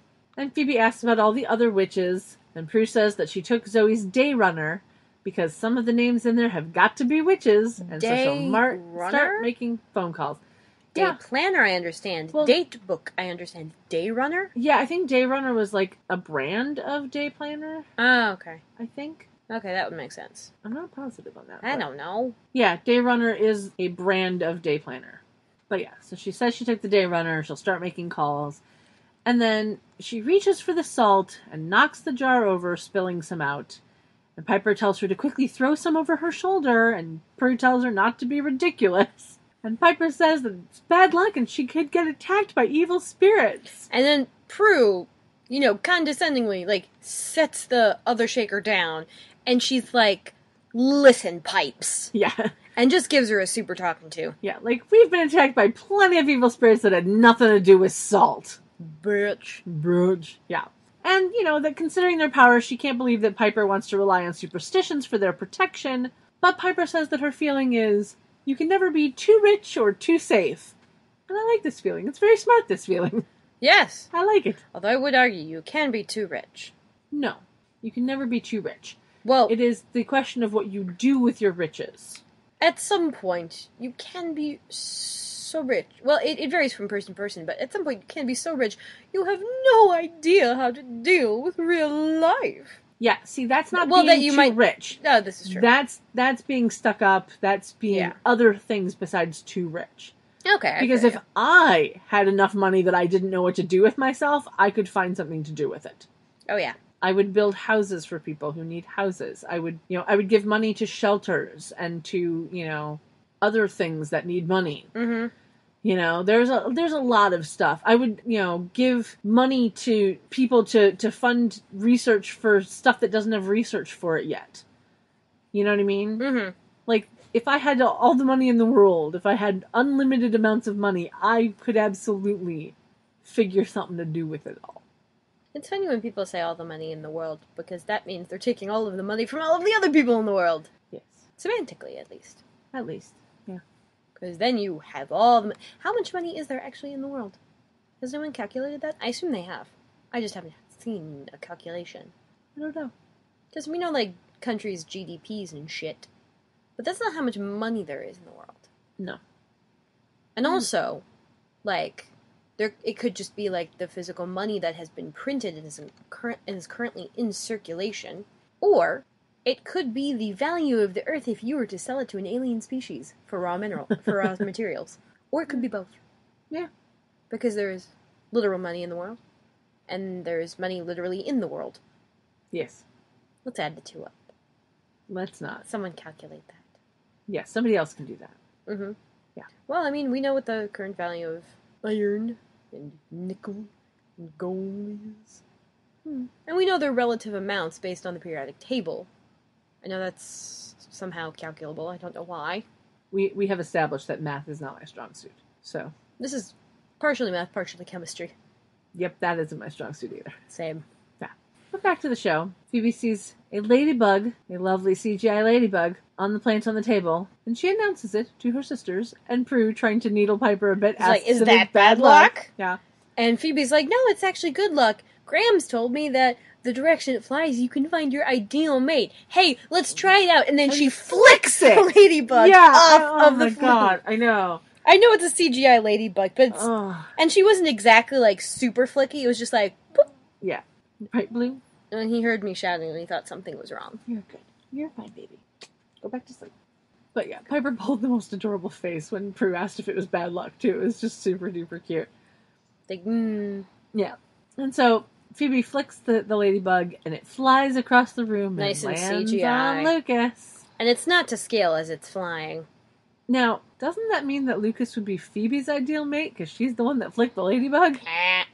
Just saying. And Piper then covers her face in a gasp of surprise And Prue asks if a positive superstition cancels out a negative one. Piper says she doesn't know, and Phoebe asks what's going on. Because Phoebe's got no clue. Yeah, she was not privy to that particular Uh-huh. conversation. Yes. And Prue tells her that Lucas has been trying to talk to Piper all day and she's been avoiding him. And as she's talking, a waiter trips and spills his tray of stuff all over Prue. And so Phoebe and Piper try to wipe her up with some napkins. And Piper tries to give the "I told you so." Yeah, you And should like- have thrown the salt. She's like, don't go there. I'm going home to change Yes. and shower. Yeah, and Phoebe tells her to be careful and calls out an I love you. And Prue throws up her hand and says, Yeah, as she leaves. And Piper is now convinced that Prue cannot say the words I love you and thinks that she may be afraid that it'll make her look too vulnerable because ever since their mom died, she's been the strong, Strong one, one. taking care of She's them. She's been the tower. Uh huh. And Phoebe thinks that she might be right and then realizes that she has to get back to work. Yeah, how is she at lunch if she's the only one in the office? Who knows? If her job is to answer but- phones when they call, But if if there if that job has a lunch hour, like you must break for lunch, I kind of see that. Like we are closed between the hours of you know noon and two for Hmm. lunch. okay, if they're like officially closed for those Yeah. hours, yeah, I can That's see the that. but it's I'd still okay with it. It's still strange to me if like Phoebe's the only one there. Yeah, but she's not the only one there. Well, there's other people, but for some reason, like she was handed the, keys. Yeah, well, you know. Like there's a bunch of extras milling about in the background, but Yeah. Phoebe's the only one working there today. Yeah, I don't know. Piper asks how the new job is going, and Phoebe says that it's great, except that her new boss wants to lie to her husband about the affair that she's having. And Piper sarcastically comes back with, Oh, how nice. And then asks what she's gonna do. And Phoebe says that she doesn't know, and she's hoping it never comes up. And she gives a quick nod of the head towards Lucas and wishes Piper good luck in that cute sister way. And then she leaves, and Piper starts clearing the plates of uneaten salad. And Lucas walks up to her and asks how it's going, and she says that it's good. Then he asks her out to dinner after the fundraiser, and she says she has to check her schedule. And he's like, You don't know if you're free tonight? And she falters for a moment and then notices that that CGI ladybug has come back to land on his shoulder. and then says, "Yeah, sure, let's do it." Yeah, dinner would be great. He says great, and they exchange smiles. And then we cut back to SWA. Where the same lady passes. Uh huh. I actually had that written down. I'd forgotten. I wrote that down. Yep, same woman in blue walks by, and in my notes I wrote, seriously, they couldn't have taken more than one exterior shot. Yep. Mhm. That, well, they took two. they did apparently, but I didn't know that at the time. They the couldn't time. take more than two. Yeah, I didn't know that at the time. Especially if they're going to show it twice, they should have at least shown the last shot and then, th- yeah, I don't know, whatever. But inside, a man in a tan suit grabs some papers and walks through the office. And Phoebe is sitting at a desk, and we also see an open water bottle. Now, that bottle either looks completely empty or more full than any water bottle should ever be. Either that or the water level is behind the label. Which I think is probably the case. At least in this particular shot, yes. But hey, look, it's one of those red labels. And it looks like the label says Arbo Reap. What? Yep. So it's it's a doctored arrowhead label bottle. Uh, which is awesome because now that little bit of annoyance can be cleared from my brain. God, that's hilarious. But it really, really does. It says Arbo Reap as as opposed to Arrowhead, and it was fucking funny. Anyway, she's holding the coin charm like she's gonna flip it, and is deciding that if it lands on heads, she'll tell the truth, and if it lands on tails, she'll lie. She flips it. Flicks It goes here. off the desk, Uh huh. And, so she, she walks. has to stand up. she stands up, walks around the desk, and you hear it like spinning. it. Mhm. And then by the time she gets around the desk, the spinning has stopped. She says, "Well, that was helpful. Look down. You see, it's balanced on its edge. Yep. Super helpful. Yep. Thanks, coin." Yep. Right, Blue? Yeah. And she picks up the coin as the phone rings. She reaches for the phone, knocks over the bottle of water, which was way more full than any open bottle of water should ever be, and it starts spilling out. So she tells she tells the person on the phone, to "Hold, on. and picks up the bottle of water with two hands, one grabbing the actual bottle and, and one, trying, to, stop, her the water. Yeah. And touching the water gives her So the a vision of Prue in the shower, submerged in water, flailing about. Yep, And there's like a shampoo bottle. floating around. Yeah, and she tells whoever was on the phone that no one's in and they should call back later. And, And she she's hangs like- up on them. Ju- kind of stepping, but it looks like she's hopping back It was adorable little like hop steps, like Like skittering. Quick, quick step. It was like skittering. Like bouncy skittering. Yeah, and so she hangs up on them and then makes an outgoing call. And we cut to the bathroom in the manor and we see a pair of legs walking toward the shower. And I swear to God, there was a white spot on the right leg that made it look like foundation makeup was covering up something on the leg. It was a quick thing. I'm probably the only one who noticed it, but it did strike me as odd. Like, you know, whoever was Shannen's body double had a tattoo on her leg, almost exactly where Alyssa's tattoo is. However, when we see the legs walk into the shower, we pan up to see Shannen or you know Prue. So I guess that it wasn't a body double. So I don't know what that spot on her leg was supposed to be. But anyway, she gets in, turns on the water, and the phone rings. Then we get a quick insert shot of the answering machine as it picks up, and we see that the number on the caller ID says SWA Properties, and the phone number is 5551212, which I haven't dialed in a very long time, but last I checked, that goes to directory assistance. Yep. Mm-hmm. Yet another 555 number. Absolutely. And Phoebe's voice comes over the machine as she's calling out to prove that she just had a premonition and she could be in trouble. And Barbas appears in a cloud of smoke, listens for a moment, and then does the hand pass thing he does. And the number on the caller ID disappears. And then back at SWA, Phoebe hangs up and grabs her coat, and then she's heading home. And we cut back to the bathroom, and Prue is enjoying her shower, and we get a panning shot where we see that the bathroom has stained glass windows, and the shot ends on Barbas. And he does the hand thing, and Prue, who has had her eyes closed, finally opens her eyes and notices him standing there. And he says her greatest fear is drowning, and thanks for, for making it so easy. At which point, the shower starts filling up with water. Uh huh. And, you know, Prue's panicking, but then she remembers, oh, I should turn off the taps. Yeah. Turns off the taps, very sensible, still filling up. Yep. Because this is not logical. It is a fear demon. Like, come on. Yep. And then, as it's getting higher and higher, she starts trying to, like, move him with her powers. Yep. And you hear the you hear the sound effect, you see her squint, nothing's happening. And he's again like, Your, Your powers are frozen by fear. Yeah. And um Which, you know, she should have remembered, but she, you know, I'll forgive her. It's hard to remember things when you're scared. Yeah. It gets up over her head, Mhm. and first I'm thinking, why doesn't she just float to the top? There's more shower stall. Like, this would not be hard. And then I'm like, oh, wait. If she floats any higher, we're gonna see that Shannen's not naked. Yep. So, okay, I'll forgive that. Yep. But my favorite is, you know, the, the water hasn't really gotten any higher, and yet she apparently can't stand anymore. Mm hmm. Because, you know, and there's bottles floating in the water, which is just the funniest thing ever. Yeah. And she's losing the battle to stay course- calm. And of course, who has a completely watertight shower stall like that? No one. No one. No one. It's watertight against a spray, yeah. not against pressure. Like she's banging on the door. Yeah. Nope. But, you know, Doesn't the door open outward anyway? yes, Yeah. it does. So, banging on the door. Nothing. Nothing. Yeah. But so she's losing the battle to stay calm, and we cut outside the manor where, a la convenience, Andy and Darryl are walking up to the door. And Darryl's asking Andy why he's so not like suspicious of Prue. Yeah.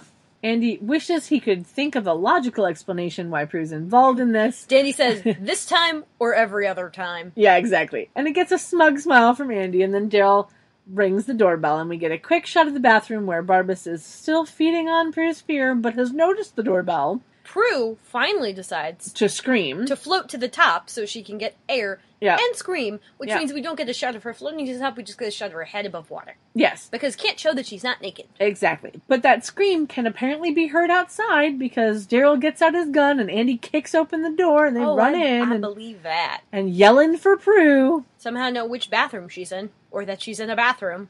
Well, you know, a la convenience. Mm-hmm. Well, Andy probably knows the layout. He's been there a ton. Mm-hmm. They grew up together. Yeah, And they've had m- much Sex together. Together, yeah. Well, usually not at her place. At least not that we've seen. and we don't know if it happened in high school. True. But yeah, back in the bathroom, Prue is barely keeping her head above the water, and then Barbas disappears, the door flies open, and Darryl and Andy run in pointing their guns. And Prue Looking is now around, and then- standing Yeah, you get a shot of Prue with her eyes closed, and the water seems to have disappeared. And Andy asks if she's okay, and she replies that she doesn't know. And Darryl just looks a bit confused, motions that he's leaving, and Andy's like, I'll wait for you downstairs. And Prue grabs a towel that for some fucking reason was inside the shower with her, was it hanging off the top of the door, or was it just hanging on a hook? hanging on a hook inside the Oh fucking my shower. God. Like, who fucking does that? Like, God, mm, I can't even. Yeah, I know. I can't even. I like, it annoyed me so much. I feel ya. so much, so much. But the reason that she had to grab the towel and wrap it around her Was so that was she so could, they could open pan the door. down when they Yeah. opened the door. Yeah, They panned down to show that no, none of the water is gone. There's still like a good six or seven inches. right. But if you look closely, you can see the water is being is like bubbling up behind her, Yeah, which is just and I'm just thinking, Hilarious. holy shit, how she can avoid all that water damage. yeah. that's gonna go into the hallway. oh yeah, yeah. It's bad. Yeah, And then they never talk about it again. They never mention it. Neither of the sisters is like, why is the bathroom rug all wet? Nothing. There's no mention of it again at all. we don't see Ever. a uh, bubbling ceiling below. Yeah, nope, nothing. Oh well, A la convenience. yeah, But yeah. yeah. Nice awkward moment. hmm So she looks around a bit in shock, and then we go to commercial break. When we come back, we have another establishing shot of the manor. And in the living room, Prue is now sitting on the couch wearing a gray robe over a white shirt and has a towel wrapped around her head. Is she still wrapped in the towel under the robe? No. Is that a shirt? Yeah, it was a white shirt with like Oh. little scalloped. Oh, okay. like so probably like a tank top, yeah. Yeah. Yes, but she is fresh out of the shower and fresh in makeup. Yeah. Yeah. Which, granted, the makeup didn't exactly wash off in the shower because she wasn't trying to wash it off, and I guess she was wearing waterproof mascara or some shit. Yeah, I don't know. But yeah, somehow had time to put on makeup Yeah. because we can't show women without it. Yeah. Unless they're supposed to look sick. And even then, they're Even still then, they wearing put makeup. on makeup to look sick. They're not just wearing no makeup. Yep. I the only thing I can think of where no one was wearing makeup was on something like We Should Start a Zoo. That movie with Scarlett Johansson and I think Matt Damon. We bought a zoo. We bought a zoo. Yeah, Yeah, no, I've never actually we should start a zoo. We should start a zoo. what? But yeah, we bought a zoo because she's like, no, fuck it. I'm not wearing makeup. You can deal, but I'm not doing that Yep. because this character would not wear makeup, like at all.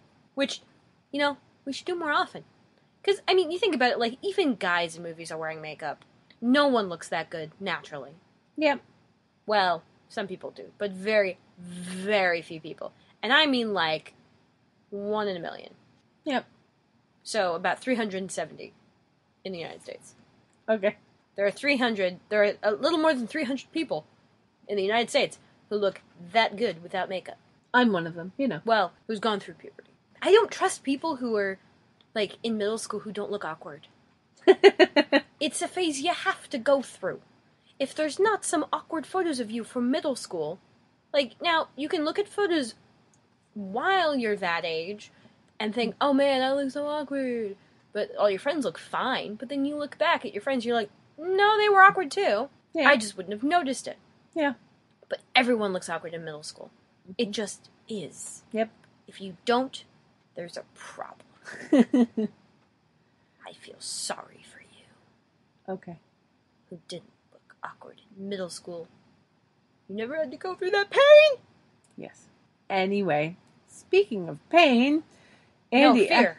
well, but Andy It wasn't what- pain. It was fear. Yes. Andy asked what she was screaming about, and she said she had soap in her eyes. Yeah. Asked again. She confirms again. And then Darryl asks what she was doing in Zoe's apartment, and Prue has to think for a moment before coming up with the lie that, That- Zoe was a collector of occult items, and she wanted to know if the auction house was interested in selling them for her. She's not looking either of them in the eye. Yep. Darryl asks if Zoe was alive or dead when she got there, and Prue says that she was dead. And Andy asks why she didn't leave her name when she called 911 and why she left before the cops got there. Because she wanted to avoid this, she says. Uh-huh. Which, you know, Yeah. is just stupid. Yeah. You're gonna have to deal with it sooner or later. Yeah. Like, you know you signed some shit. Even if not, you know there's probably gonna be cameras. Because there's got to be some reason for Andy and Darryl to come to your house. hmm Absolutely. And Andy thinks it's a little coincidental that she's been one step ahead of death twice in a day, and Prue what, wants to know what he's implying. Like, you know. Prue, what would you do if you were in my shoes, seeing all of this? And she goes, she looks- first of all, no, one should be in those shoes. Which gets a little funny mock whisper of "told you" from Darryl, Yeah. which was hilarious. Oh my god. Yeah, and that that was that was how I wrote it. No one should be in those shoes. Teen teen. Told you. Yep. And Prue goes on to say that if she were in his shoes, that she would never think he had anything to do with these deaths. You're missing the uh, head tosses that Kat is doing. Yeah. And trust me, they're glorious. Yes, thank you very much. And Andy tells her that five women her age have been scared to death since midnight, and when they showed up and heard her screaming, they broke in to find her terrified in the shower. And she once again tries to say that she just had soap in her eyes, and Andy says that wasn't pain on your face, it was fear. And we hear the front door open and slam shut, and Phoebe runs into the living room calling for Prue, and she stops short when she sees. She kind of slides cops. into the into Yeah. the archway of, of the sitting room. Yep, It's great. yep. And she's like holding out her purse and she's like, "Oh, Hi. hi guys." Yeah. She says she says hi and they both go, "Hi." Hi. Yeah. So they exchange their quick hellos. Phoebe asks if everything's okay, and Prue says everything's fine and asks if the cops are done with her. And Darryl says they are, and they leave. And as soon as they're gone, Prue's like, You would not believe what happened to me. And Phoebe's like, Oh, I would. I saw it. Which I thought was funny. And Prue takes the towel off of her head, and Phoebe says that he must have come really close because she's got some white in her hair.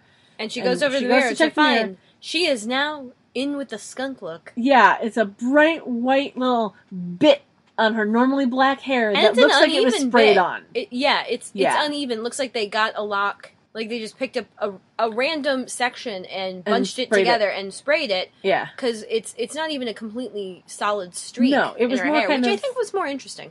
Yeah, But yeah, the skunk look is totally in now, but not in 1999. not so much. And then we time lapse up. We cut to Prue and Phoebe walking into the attic, and we And see that Prue's Prue's hair is Uggs. dried. Well, her hair is dry, and she's wearing Uggs. Wait, were Uggs around back then? Yes, fucking Uggs. And Phoebe says that there has to be something in the book about releasing fears, that it may not be obvious, and she walks over to the Book of Shadows. And Prue apparently smells something like sandalwood in the attic and asks Phoebe about it, but Phoebe doesn't smell anything. And in the close up shot, the white in Prue's hair now looks more like a light gray. It's much less bright and noticeable. And Prue says that their mom used to wear a fragrance like that. And Phoebe's like, I was too young to remember. And she looks at the book and finds the page that Prue had been looking at and is confused Yeah. because There's another. Prue's like, there is nothing about releasing your fear, and there is now a new line that says, to let go of your fear, trust in the greatest of all powers. and, and- Prue's very, very adamant about that, that this was not in there. Yeah. We know she's right, but Phoebe's like, well, honey, you were stressed. Yeah, maybe all that how stress. do you know? And Prue's like, it's in mom's handwriting. I would have remembered. like, bitch, step off. Uh huh. And Phoebe asks what she thinks that the greatest of all powers is, that maybe it's the power of three. And Prue's like, I don't know. I don't know. Yeah. And Phoebe, sensing that something's up, asks about it. And Prue says that she can feel their mom's presence. And Phoebe, not believing that that's what's really going on, says that maybe Prue should get dressed and go to Buckland's, but Prue doesn't think she's up for that. And Phoebe realizes that because he disappeared once Andy got there, that Means- Barbas only attacks when you're alone and your fear is at its greatest. Well, more like, so there's no witnesses. Yeah. And Prue, Prue says she's right, which gets an, of course I am, from Phoebe, which was just great. Also, no help. True. Yep. Because if there's someone else there, they're not frozen fear because it's not necessarily their, Their fear. fear. Also, there's no point in killing them because they might not be a witch or single. So it's really just efficiency. Mhm. We don't know how many people he's gotten by this point. True. Very true. But yeah, we get a cute, of course I am, when Prue says she's right. And then she tells Prue to stay away from water. Any water, don't even drink it. mm-hmm. Which I thought was very funny. But that means don't drink anything because you can drown drinking anything. Mm-hmm. Just saying. But Prue tells her not to worry, and Phoebe says, I love you, and Prue replies, Me too. As she's flipping through the book. Uh huh. And Phoebe thinks about it and then stops and asks her if she knows that she does that. Yeah, it's like, why do you why do you never say I love you? Prue's like, dude, I just did. No, like- you said me too. Uh huh.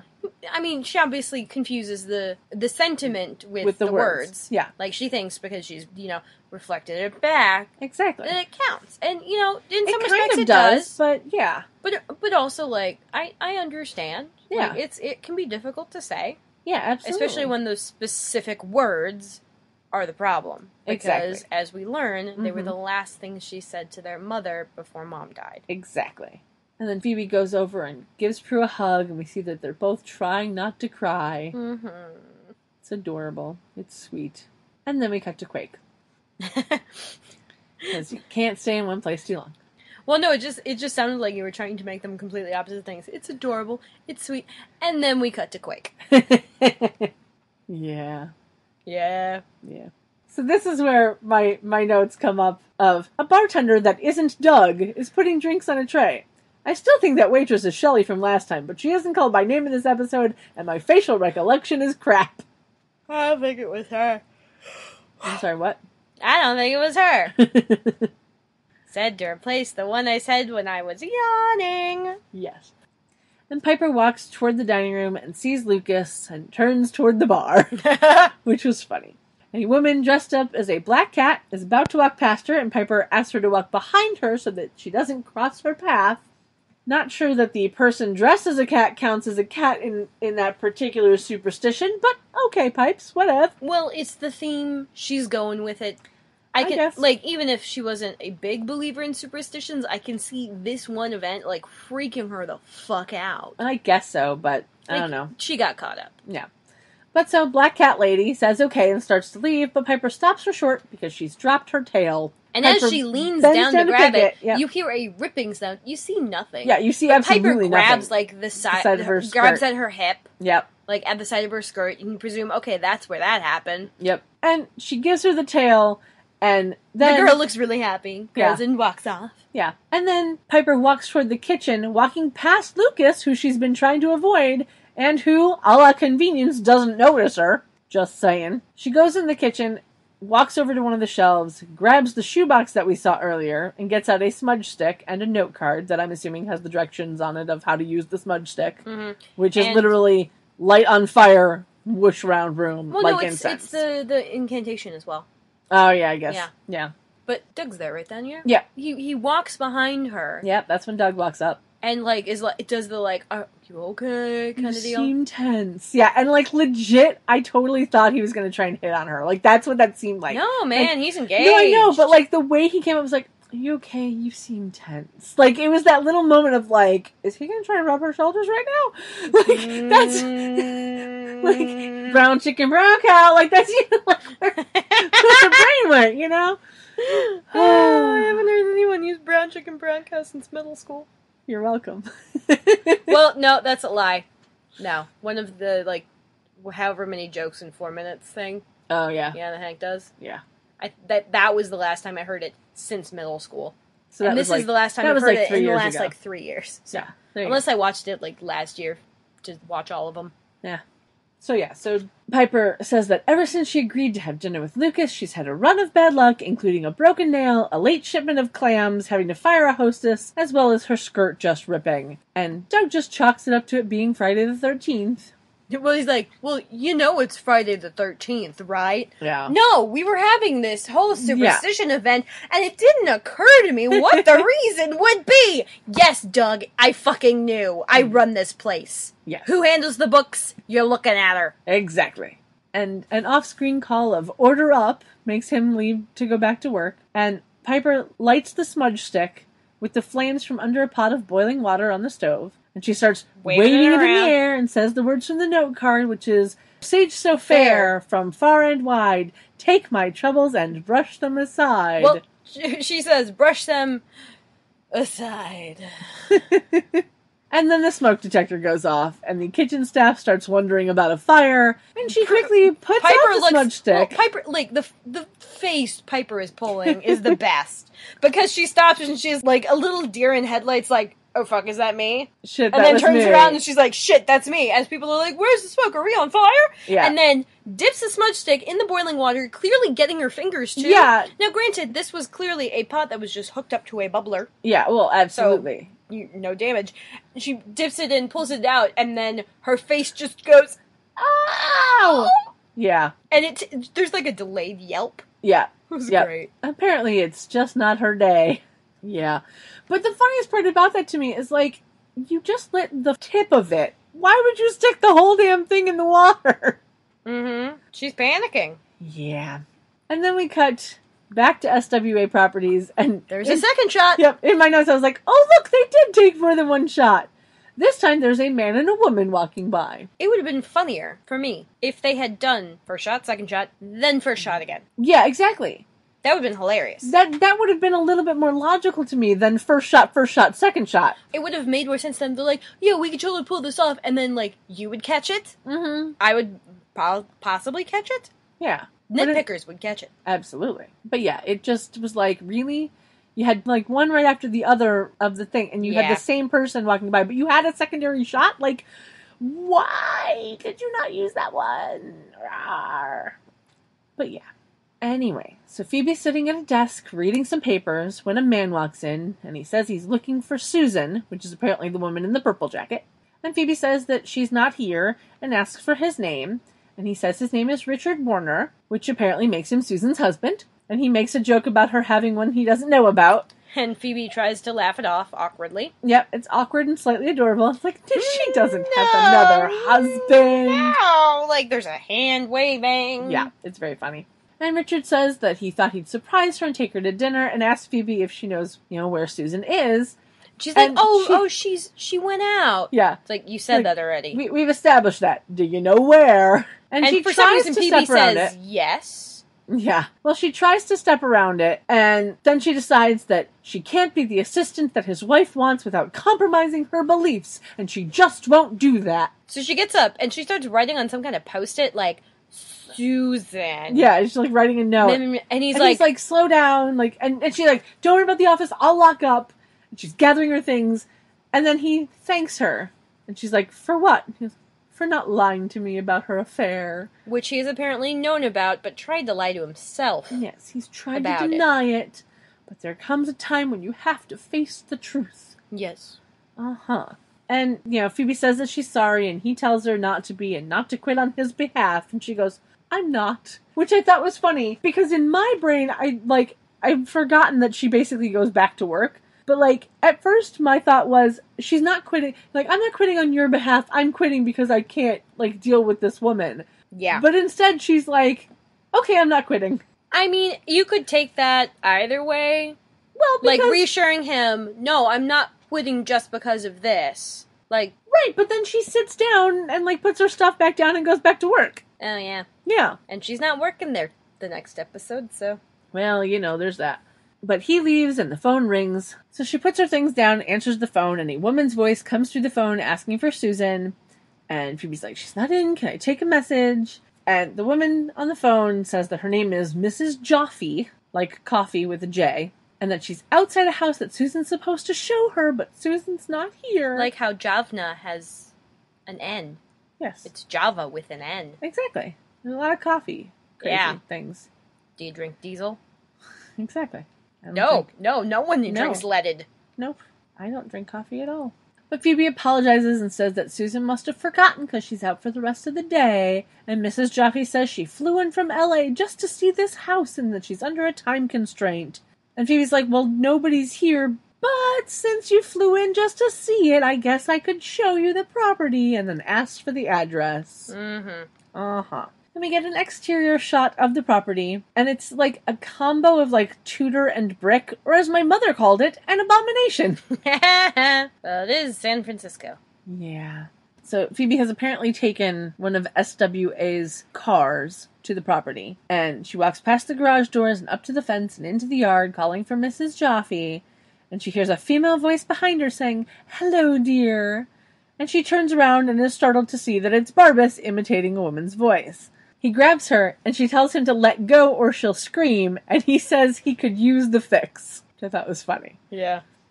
I, I totally laughed at that line. And then he does the hand thing, and Phoebe says that she knows how he kills, but there's no elevators around. And he laughs because, oh, really? You think that's your worst fear? Yeah. And you he, like, mortals wa- need to look deeper. And then he waves his hand over, and this time Yeah. they have an actual shadow. Well, yeah. Well, uh, a little augmented, but like it actually makes a shadow over her face because of the way that the lighting is. Mhm. So th- because she's not like far enough away that they would need to do the artificial shadow. Mhm. I don't know if they were trying to make that realistic. Now, who knows? Who knows? Don't care. Yep. And he's like, "Your worst fear is losing a sister." So I get two for one, which I was just like two birds, one stone, yeah, baby. like all right, dude. Which means the effort he puts into getting the two justifies the amount of time it takes. Yeah, I guess. Mm-hmm. Mm-hmm. And then we cut to Buckland's via exterior shot. And inside, where Prue is on the phone, presumably telling another witch to like avoid shit. She's like, Uh-huh. "Don't look in any closets." Yeah, And I'm like, "Is this witch a lesbian and not telling anyone? Like, No, why sh- would she be afraid of closets?" Well, you know, Well, claustrophobia, but still. well, no. Some people think that, like, you know, the the monsters in the closet, that kind of thing. I I understand it. Oh, they like under the bed. Not everyone. Not all monsters like under the bed. all I know. Not all beds have an under the bed. This is true. Yeah. Mine currently does not because there's so much shit down there. Exactly. Exactly. And Prue in her office, which is the first time that we have seen her since the attic, no longer has gray in her hair, Well, it started to fade immediately. which wouldn't fucking happen. Well, Just maybe it's because saying. she lived. Just saying. Well, I mean, okay, remember episode 5, one of the ones we all love to hate. The scratches on her back disappeared pretty quick. yeah. Whereas but when they're dead, their bones are all still broken. I guess so. and but- somehow not a mark on them, so that's slightly a continuity error, but whatever the fuck. She gets scratched, it heals super quick because it was, to a certain extent, not all that real. So I can see them going like, well, it didn't work, she didn't die, so because it wasn't complete, it reversed. Yeah. It's an but- all or nothing. Yeah, I don't know. Like I once the hair goes white, that pressure valve releases and you're dead. Yeah, I don't know. Personally, I think it would have been I I would have accepted it more had we had like a quick shot of her in the bathroom and all you see is like a box of hair dye on the counter. Like then I'd have been okay with it. Like I'm just gonna touch up this little bit and get rid of it. But I digress. She's also wearing Or a permanent low marker. cut. Huh? Or a permanent marker. No, no, no. It smell horrible. no. Or you know, just brushing her hair back. Yeah, if her hair was it. yeah, if her hair was like in a different style and you couldn't see it, then Mhm. I'd be okay with it. But it's in, it's just down and you could totally yeah Well, it also doesn't make sense that when it was wet, it was really white, and when it was dry, it was lighter gray. yeah So that combined with the fact that it's not there anymore, I feel like they were trying to lead to the oh, it reversed itself because it didn't work kind of deal. That's the direction I would think the show was trying to point. I don't know. However, they, They used no their elbow and didn't notice that their finger was pointing a different direction. yeah So they're like, there! yes yeah it it And their finger's pointing, but they're motioning with their elbow. And you're not always going to know it because guess which way you look when someone is pointing, you look at their finger. yes Unless they don't have fingers, in which case you look at whatever the most outward extremity is that they're currently moving. I wouldn't expect someone with no hands to be using their feet to point unless their arms were busy. I, I don't know. I think this has taken I'm a turn. overthinking this. Excuse me. I've got to overthink about this. yeah, a little bit, a little bit. anyway, she's wearing now a low cut, long sleeve top that was either purple or blue. I think it was blue. yeah, I couldn't really tell. Yeah, I think it was blue. Yeah, not too worried about Not, it. not you. no, not you, blue. Not you, blue. It could be like a periwinkle. Yeah, maybe. I'd believe blue. But yeah, it's kind of low cut. But when does Prue ever wear something work appropriate? Well, yeah, there's that. Anyway, so yeah, so the other line rings and she hangs up with the call that she was on, and we hear Phoebe saying that she's gotten stuck at a house that she was showing and asked Prue to come and get her, and Prue's like, okay, and asks where she is. And we cut back to the property, and Barbas is on the phone imitating Phoebe's voice, and he gives an address of 3112 Napa Street, So in case you were wondering. And, okay, watching that actor with Phoebe's voice coming out of his mouth was delightful. D dash Lightful. Got Yes. it. And Prue says she's on her way, and then we pan over to Phoebe, who is tied up with tape over her mouth and is shaking and scared. And commercial break. Mm-hmm. And after the commercial break, we are at Quake, because why wouldn't we be?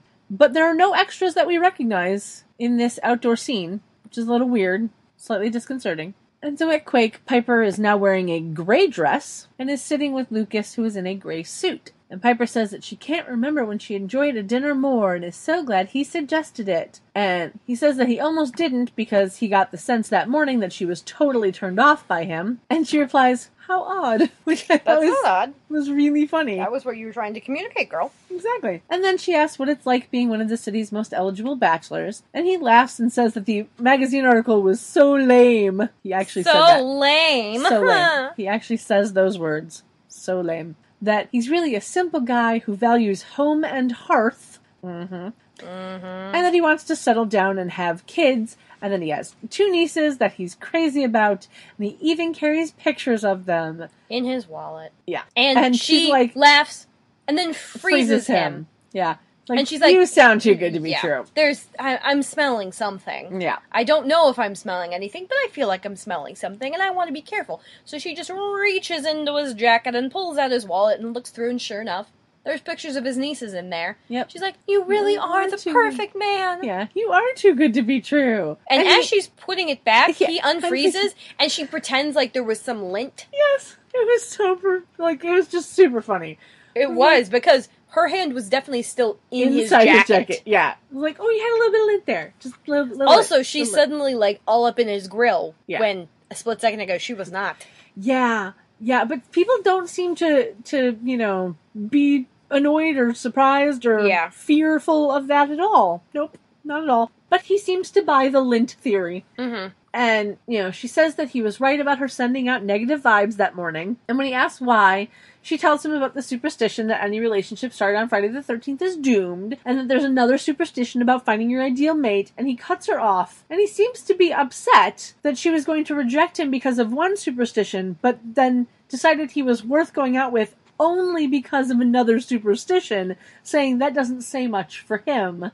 Which, I mean, Yeah. mm, like, that would not be the explanation I would have gone with as Piper. I would have been like, well, you know, this whole superstition thing is really getting to me because it's Friday the 13th, and my last relationship started on Friday the 13th. It did not end well. Yeah, exactly. I would have said that. I'd been like, And, you that know, Friday the Thirteenth I has its own connotations for me personally because of my last relationship. and and with all of like the black cats and the ladders and crap around Yeah. and a lot of bad luck has been happening to me today like i'm just a little a Shaky little- today. i'm just wondering whether or not this crap really works and so like Mhm. i was worried about talking to you because of my previous relationship and then someone told me about ladybugs and one landed on you and you know i thought well if the bad luck is supposed to work maybe the good luck should also work Yeah, exactly. But she tries to say something else, and he cuts her off again and says, "You know, I'm sure you're very nice and whatever."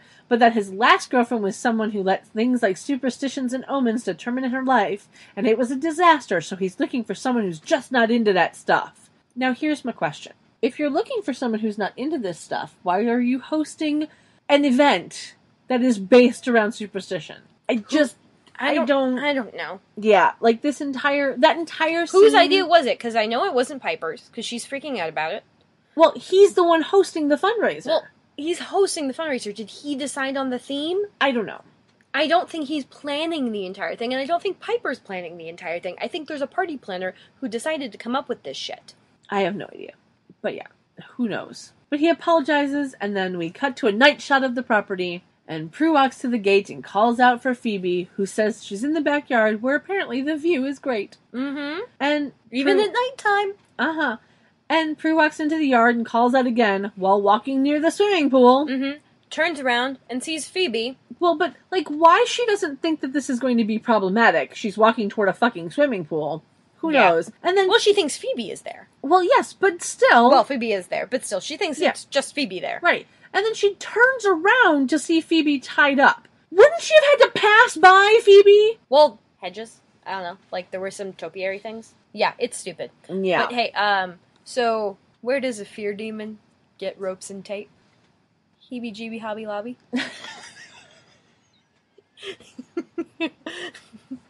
How long you been sitting on that one? Since last week. Nice. And that's going on Tumblr. Heebie-jeebie Hobby Lobby. I like it. But yeah, so she sees Phoebe tied up, and then Barbas comes into view, and he asks if she brought her suit before pushing her into the pool, where she promptly sinks to the bottom. Oh, Prue. She tries to swim back up to the top, but can't, and he tells her to feed him her fear. And we see Phoebe still sitting scared and shaky on the bench, and Prue is closing her eyes under the water, and then a bright light appears in the pool, and a voice calls to Prue, telling her to face her fears and to trust in the greatest of all powers. hmm I wonder how many takes it took to get her underwater for that long. I don't know. Was she like okay? So the way she's like flailing around and you know kind of bouncing on the bottom, I'm thinking she's probably wearing a weight belt or something Possibly. because the amount of air in your lungs will make you float. Oh, yeah, absolutely. Uh huh. The only the only things that won't make float are French bulldogs. What? Oh, they sink. They're too dense. What? Seriously, That's funny. I didn't know that. a lot of them can't swim, Aw, poor babies. and none of them can give birth. Their hips are too small because genetic modification, So how do you have more? cesarean, also artificial insemination because they can't fuck. Aw, poor babies. Yep, English bulldogs are the same way right now. Aw, Yep. that's kind of sad. Yeah, that's why the idea of like retro mops. So they they breed it back a little. They breed a little more variety in, Mhm. like you know, try and get it back to a a previous standard. Because if you look at them from hundred years ago, you barely recognize them. Like color Oh, completely yeah. different. So they just try and get them. There's a lot of dogs that. that do not look the way they looked 100 Uh-huh. years ago. It's terrifying Oh how much God, we have bred dogs to be as adorable and cute as they are, like like pugs. Yeah, Everybody, that- yeah, everybody thinks pugs are adorable little dogs, and yes, they're super duper cute. but they're But super they are- unhealthy. Yeah, they are so unhealthy because they can't breathe. Mm-hmm. They can barely eat. Like, don't get pugs, people. Just don't do it. They intake so much air while eating that they're a constant fart machine. yeah, like just, But just a very, very not stealthy fart machine. Like Yeah. you can't set this off in a sleeping bag and scare Daniel Radcliffe. Like it won't work. okay. Deep cuts. Deep, cuts, man. Deep cuts. Anyway, so the voice in the pool tells her to trust in the greatest of all powers, which is love. Love. Uh huh, which is a little bit of bullshit, but alright. And Prue sees a vision of a woman who she calls Mom, wearing a white dress. We can't see her face at all. The voice tells her to save herself, save her sister, and to not be afraid. And then the woman in white holds out her hand, and Prue reaches out and grabs it and gets pulled to the top. hmm I want to know who did the voice for the mom. It does not say it on IMDb. I'm not seeing anything online as to Okay. who voices it. I, It was probably someone vaguely connected with the show. yeah, probably. But yeah, so she gets pulled to the top, and we see Barbas starting to move Phoebe somewhere. And Prue swims over to the edge of the pool and tells him it's over. And she uses her power, and he flies across the yard, and she gets out of the pool. She is so soaking wet that her shirt shines with the amount of water. And it's a little stretched too. A little bit. And we can see her bra. Not until the next moment. Oh, is the continuity error? yes. Oh. Yes. So she when she gets out of the pool, she is so soaking wet that her shirt is shiny. But by the time she gets to where Barbas is, which is like no more than like 15 feet away from the pool, she is no longer soaking wet. She's still wet, but she's no longer soaking, and her bra is showing. Yeah. And then he weakly goes, Your fear. And she's like, I'm not afraid anymore. And then he screams, For, No. for some reason, when she says, I'm not afraid anymore, the camera is not on her. It goes from him to Phoebe. yeah, I don't know. It's weird. Yeah, it was a little odd, but I don't know. Like, you'd think that would be a great moment to show Shannen's face being all determined and shit. but they like might being, not have I'm not that. afraid anymore! Yeah. Mm. But they might not have had that shot, so you know, there's that. But he screams no and is vanquished. Now let's talk about this vanquish, as it was very oh elaborate. My god. Oh my god. Yeah. I had to write it all down because it was very elaborate. I wrote annoying effect, annoyingly simple ending. Yeah. Yeah. So here's the vanquish. Yeah.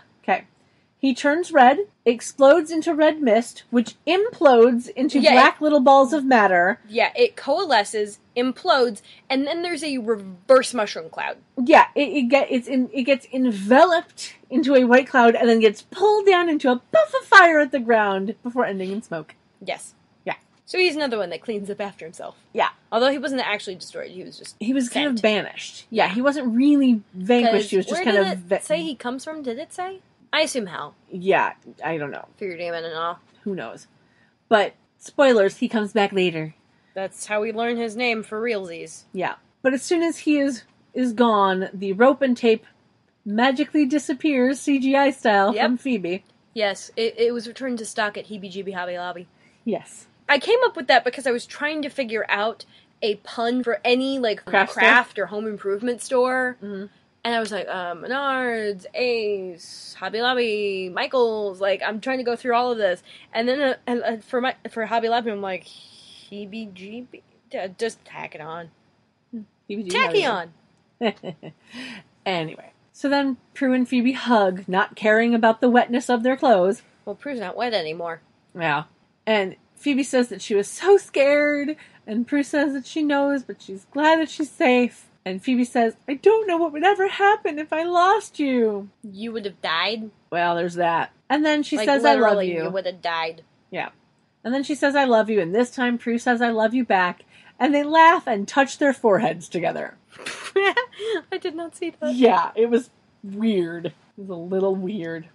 And then we cut to the manor via exterior night shot. And in the living room, Piper is sitting on the floor in front of a roaring fire. Tossing shit into it. Mm-hmm. especially metal that the fire cannot possibly melt because A, not hot enough, B, it's falling to the floor of the Yeah, house. well, yeah. Not on, like, the logs are suspended above because ash. Yeah. And she's in a greenish v neck long sleeve sweater and gray sweatpants. She got comfy quick. Yeah. And so she takes off the necklace she's wearing, she throws it in the fireplace, and Phoebe and Prue walk in, and Prue is now seemingly wearing Phoebe's jacket, and Piper is continuing to throw other things into the fire. Well, her jacket's probably at the bottom of the pool, and Phoebe didn't want to She wasn't wearing her jacket in the pool. She shrugged it off. Did she? Oh, yeah, Yes. yeah, she did. You're right. You're right. Yeah. Yeah. right. it so rarely happens. Did I miss something? Or did I forget something? No, Yeah. it doesn't. That happens a lot. Well, it so, hap- it so rarely happens that I'm able to correct you. Oh, yes. Yes. Because normally it's in my notes, Yeah. and I didn't bother. Mama bother you about it. All right.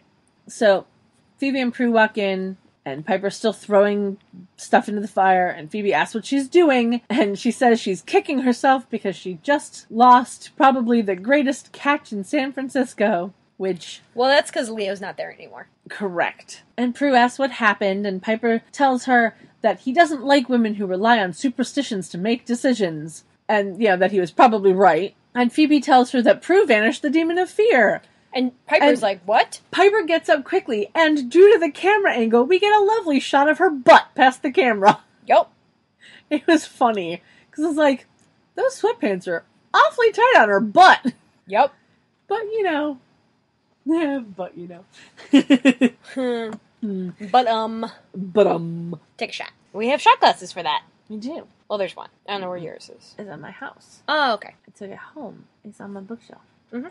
Anyway, Phoebe says that Prue vanquished him, and Prue says that she at least put him back in the bottle for another 1300 years, which, you know, Mm-hmm. Yeah. And so now Piper is the one who's asking what happened, and Phoebe starts the story saying that he pushed her into the pool, and then Prue finishes with, and mom helped me out. Which my mother lovingly said, then she didn't do anything. It's like, she didn't do it.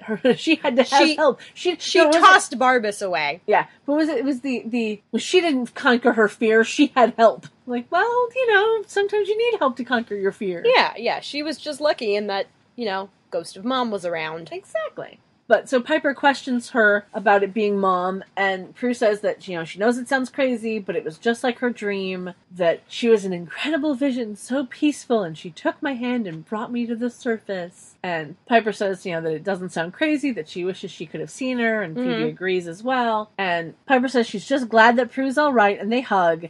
And, then Prue I- says, unprompted, says, says, "I, "I love love you." you. and and gets an eyebrow raised from Phoebe and causes Piper to break the hug with a "What did you just say?" Which I thought was really funny. yeah, and Prue repeats, "I love, you. Yeah, and then Piper gets like really cute, yeah, and, and she's like, they all "You smile. never said that to me." Yeah. Like, oh, and she's doing this like funny thing with her shoulder. Yeah, It's it so was- cute. it It's was so adorable. cute. She's so happy. It was so adorable. And Prue wishes that she had said it a long time ago, but ever since their mom died, She's been afraid to say it because she didn't want to lose anybody else. And Piper's like, We're not going anywhere. And then Prue says that she's exhausted and she'll see them in the morning and she leaves the room. And Piper turns to Phoebe and is like, What happened to her in that pool? And Phoebe says she doesn't know, but whatever it was must have been incredible. And we cut to the attic for the final scene. Where Prue is sitting in a chair with the book. And a grandfather clock that I don't remember ever seeing before chimes the hour. And she's in the chair holding the Book of Shadows. And she's back on the page, written in her mother's handwriting. And the words magically appear on the page. A a, a little uh, orb of light comes and cursives on the page. Uh huh. Thanks for letting them into your heart. Which we As- hear as the voice. voice. from the pool saying that. And Prue says, I miss you, Mom. And we go to the end credits. Right, Prue? Mm-hmm. Yeah. Yes, yes, yes. Yes. Yes, I love you. And that means we're done. Yeah. It's time for the rating. Uh huh. So am I going first this time? Or would you like to go I'll first? go first. I think you went first the last couple of times. Yeah. Yeah. I'm going to give it eight and a half out of ten unhelpful coin tosses. Nice. I went for 8 out of 10 uncontorted fear faces. And then as for outfits, for Prue, I actually really liked the white hoodie that she was wearing in the very first scene. I feel you. Uh, I think my favorite of Prue's was the sweater, but you know, the wet sweater. That Yeah. was nice. Yeah. Phoebe, definitely her suit. Yeah. Because that's actually that's the, only, the outfit. only outfit, yeah. That was the only outfit she wore the entire episode. Holy shit. Yeah. Although I do love that jacket. Yeah. But that's part of the outfit. But yeah, it was basically the only Holy outfit that she's in that the never entire happens. episode. Yeah, Even exactly. Piper changed. I know, right? Piper changed. Twice! She had three outfits. Yeah, three outfits. No, four. She changed the, Oh, the yeah, top four. of the skirt. She had Four. four. She had four outfits and Phoebe had one? Yeah, What is this nonsense? yeah, Prue had three. yeah. Well, robe, four. And naked. You know, there's that. Eh, that's not an outfit. The towel. Well, yeah. And then Piper, I liked the gray dress that she was wearing During the at date. dinner with Yeah. Lucas. Yeah, That was cute. yeah, that was super adorable. Mm-hmm. I enjoyed it. Holy shit. Has Phoebe ever only had one outfit? Nope, this is the first episode that Holy Phoebe only has one outfit. That's a revelation. Yeah, it's super weird. Okay. I don't know how I feel about it. Okay, so plug time? Yep. Okay. You can find us at pretty much all of the social media except LinkedIn. Um, and Vine. We don't have and Tinder. we're obviously not on Grindr. That's not really our area of expertise. No, not so much. Um, we're not on OkCupid. Not as a podcast anyway. But we're on Twitter, Tumblr. We have a Facebook page. Uh, we've got a Pinterest that we never use. I actually, Snapchat. I've oh, did actually you use been, it? I've actually Oh, been doing yay. Pinterest more because I wasn't sure. know. You mentioned it earlier, and I wasn't sure if you meant like you or the podcast. Yeah, no, I was on our Pinterest page Okay. for, for That's good. Okay, so we have a Pinterest that we are now using. Yeah. it's Um, basically all charm stuff, but I'm trying very hard not to put in anything spoilery. You could always go the like aesthetic route, Yeah. like get a bunch of athaways and shit. Yeah, I don't know. We'll we'll we're we're working on it. Mm-hmm. But yeah, so charmchats at gmail.com. Yeah, please Charm email chats. us if you like. Yeah, we got our very first email, We got our very first email. which is kind of amazing. We're not going to talk about it right now. We're still We're- waiting we're- on permission from the sender to mm-hmm. discuss it. Yeah. And hell, And then we will. Yeah, yeah, and heck if they heck really, really Kendra? Hell if they uh, get back to us if they get back to us before we have to publish this, maybe we'll put it in. So Maybe. We'll yeah. see. We'll see. We'll see how it goes. We'll we'll play it by ear. Yeah. Yeah. Yeah. Yeah. Yeah. Mm, mm, mm. But yeah, so you can email us at charmchats at gmail.com. You can tweet at us at charmchatspod on Twitter. And there's also our Tumblr. Uh huh. Um, but then- everywhere else we're Charm Chats. Yep. Facebook, Instagram, Patreon. Hmm Our second we, Tumblr. we would love to be able to afford more storage because we're we're kind of running out. Yes. Like, and we don't we, don't want to take down the episodes from iTunes because then people Won't be I able to find them. well, they'll be able to find them on our website. Yeah. but they won't be able to find them all in one place other than the website. other than the website, and that Yeah. can be a little tedious. We understand, but you know we're we don't make money from this. no. We barely make enough money to do our regular stuff. Yeah. And this is definitely a time intensive and a work intensive and we put money into this kind of crap. Like Yes. we we care about the podcast and if you care about the podcast, it would be lovely if you would help us be able to afford to keep all of the podcast on iTunes because that's where most of you listen to it apparently. Yeah. As our poll told us. Yeah, Granted, there were what two votes? yeah, but they were both iTunes. Yeah, so, yeah. We don't have a large goal. We just like to be able to afford. We literally, we literally at this point. Just are asking it that if you enjoy the podcast, that you help us out so that we can afford bandwidth Mm-hmm. to keep the podcast on iTunes. Yes, bandwidth and storage. Yeah. Also, like, what are our alternatives? We join the podcast network and find sponsors. How we do? We don't know how to do that kind of stuff. Yeah, and you how know, does that happen? It's magical. It's mysterious. It's Yeah. like how I view dating. I don't know how that happens. it's suddenly people are together, and I'm just like, what? Why? How? Even when I'm literally privy to the moment they start dating, which has happened, Mhm. I still don't know how it happened. Yeah, I don't. Yeah. Kind of like algebra when I was in eighth grade. You can show me the answers. You can show me the answers. I still don't know how to get to the answers. it's like me with analog clocks. Yeah.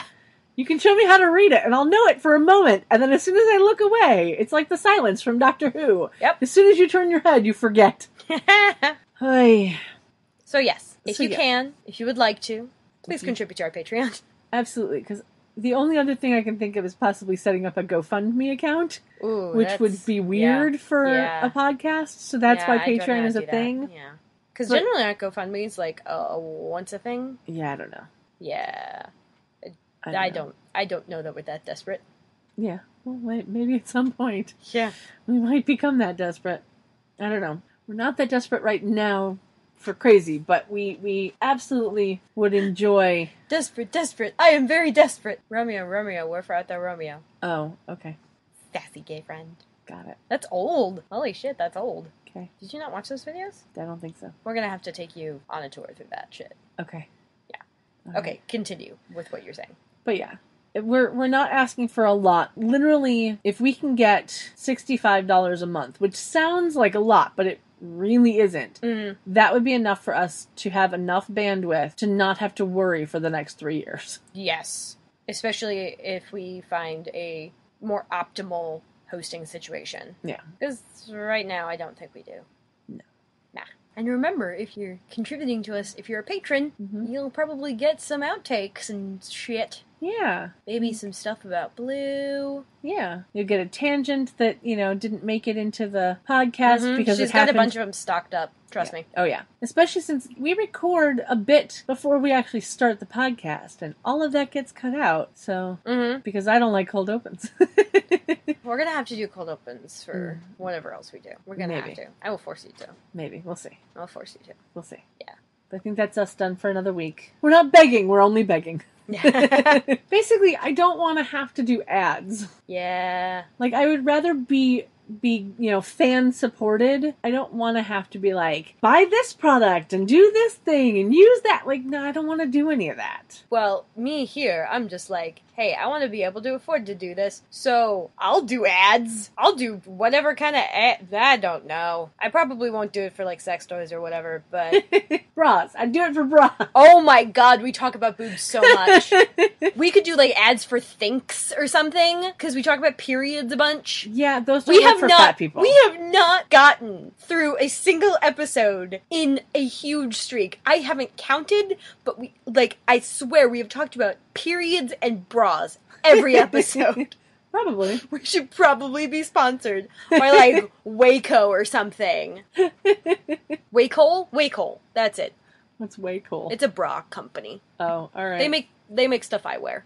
Oh, all right. So they make bigger bras, but they probably don't make big, big, big bras. I don't know how big they make them. How do you spell that? W A Y Cole, C O A L, I think, or it may be just W A Cole. Nah. Yes. Wackle. Okay, should we maybe close this out before you go on a. All right. So that's us done for another week. Bye. Bye. Sleep tight. Don't let the warlocks bite. All right.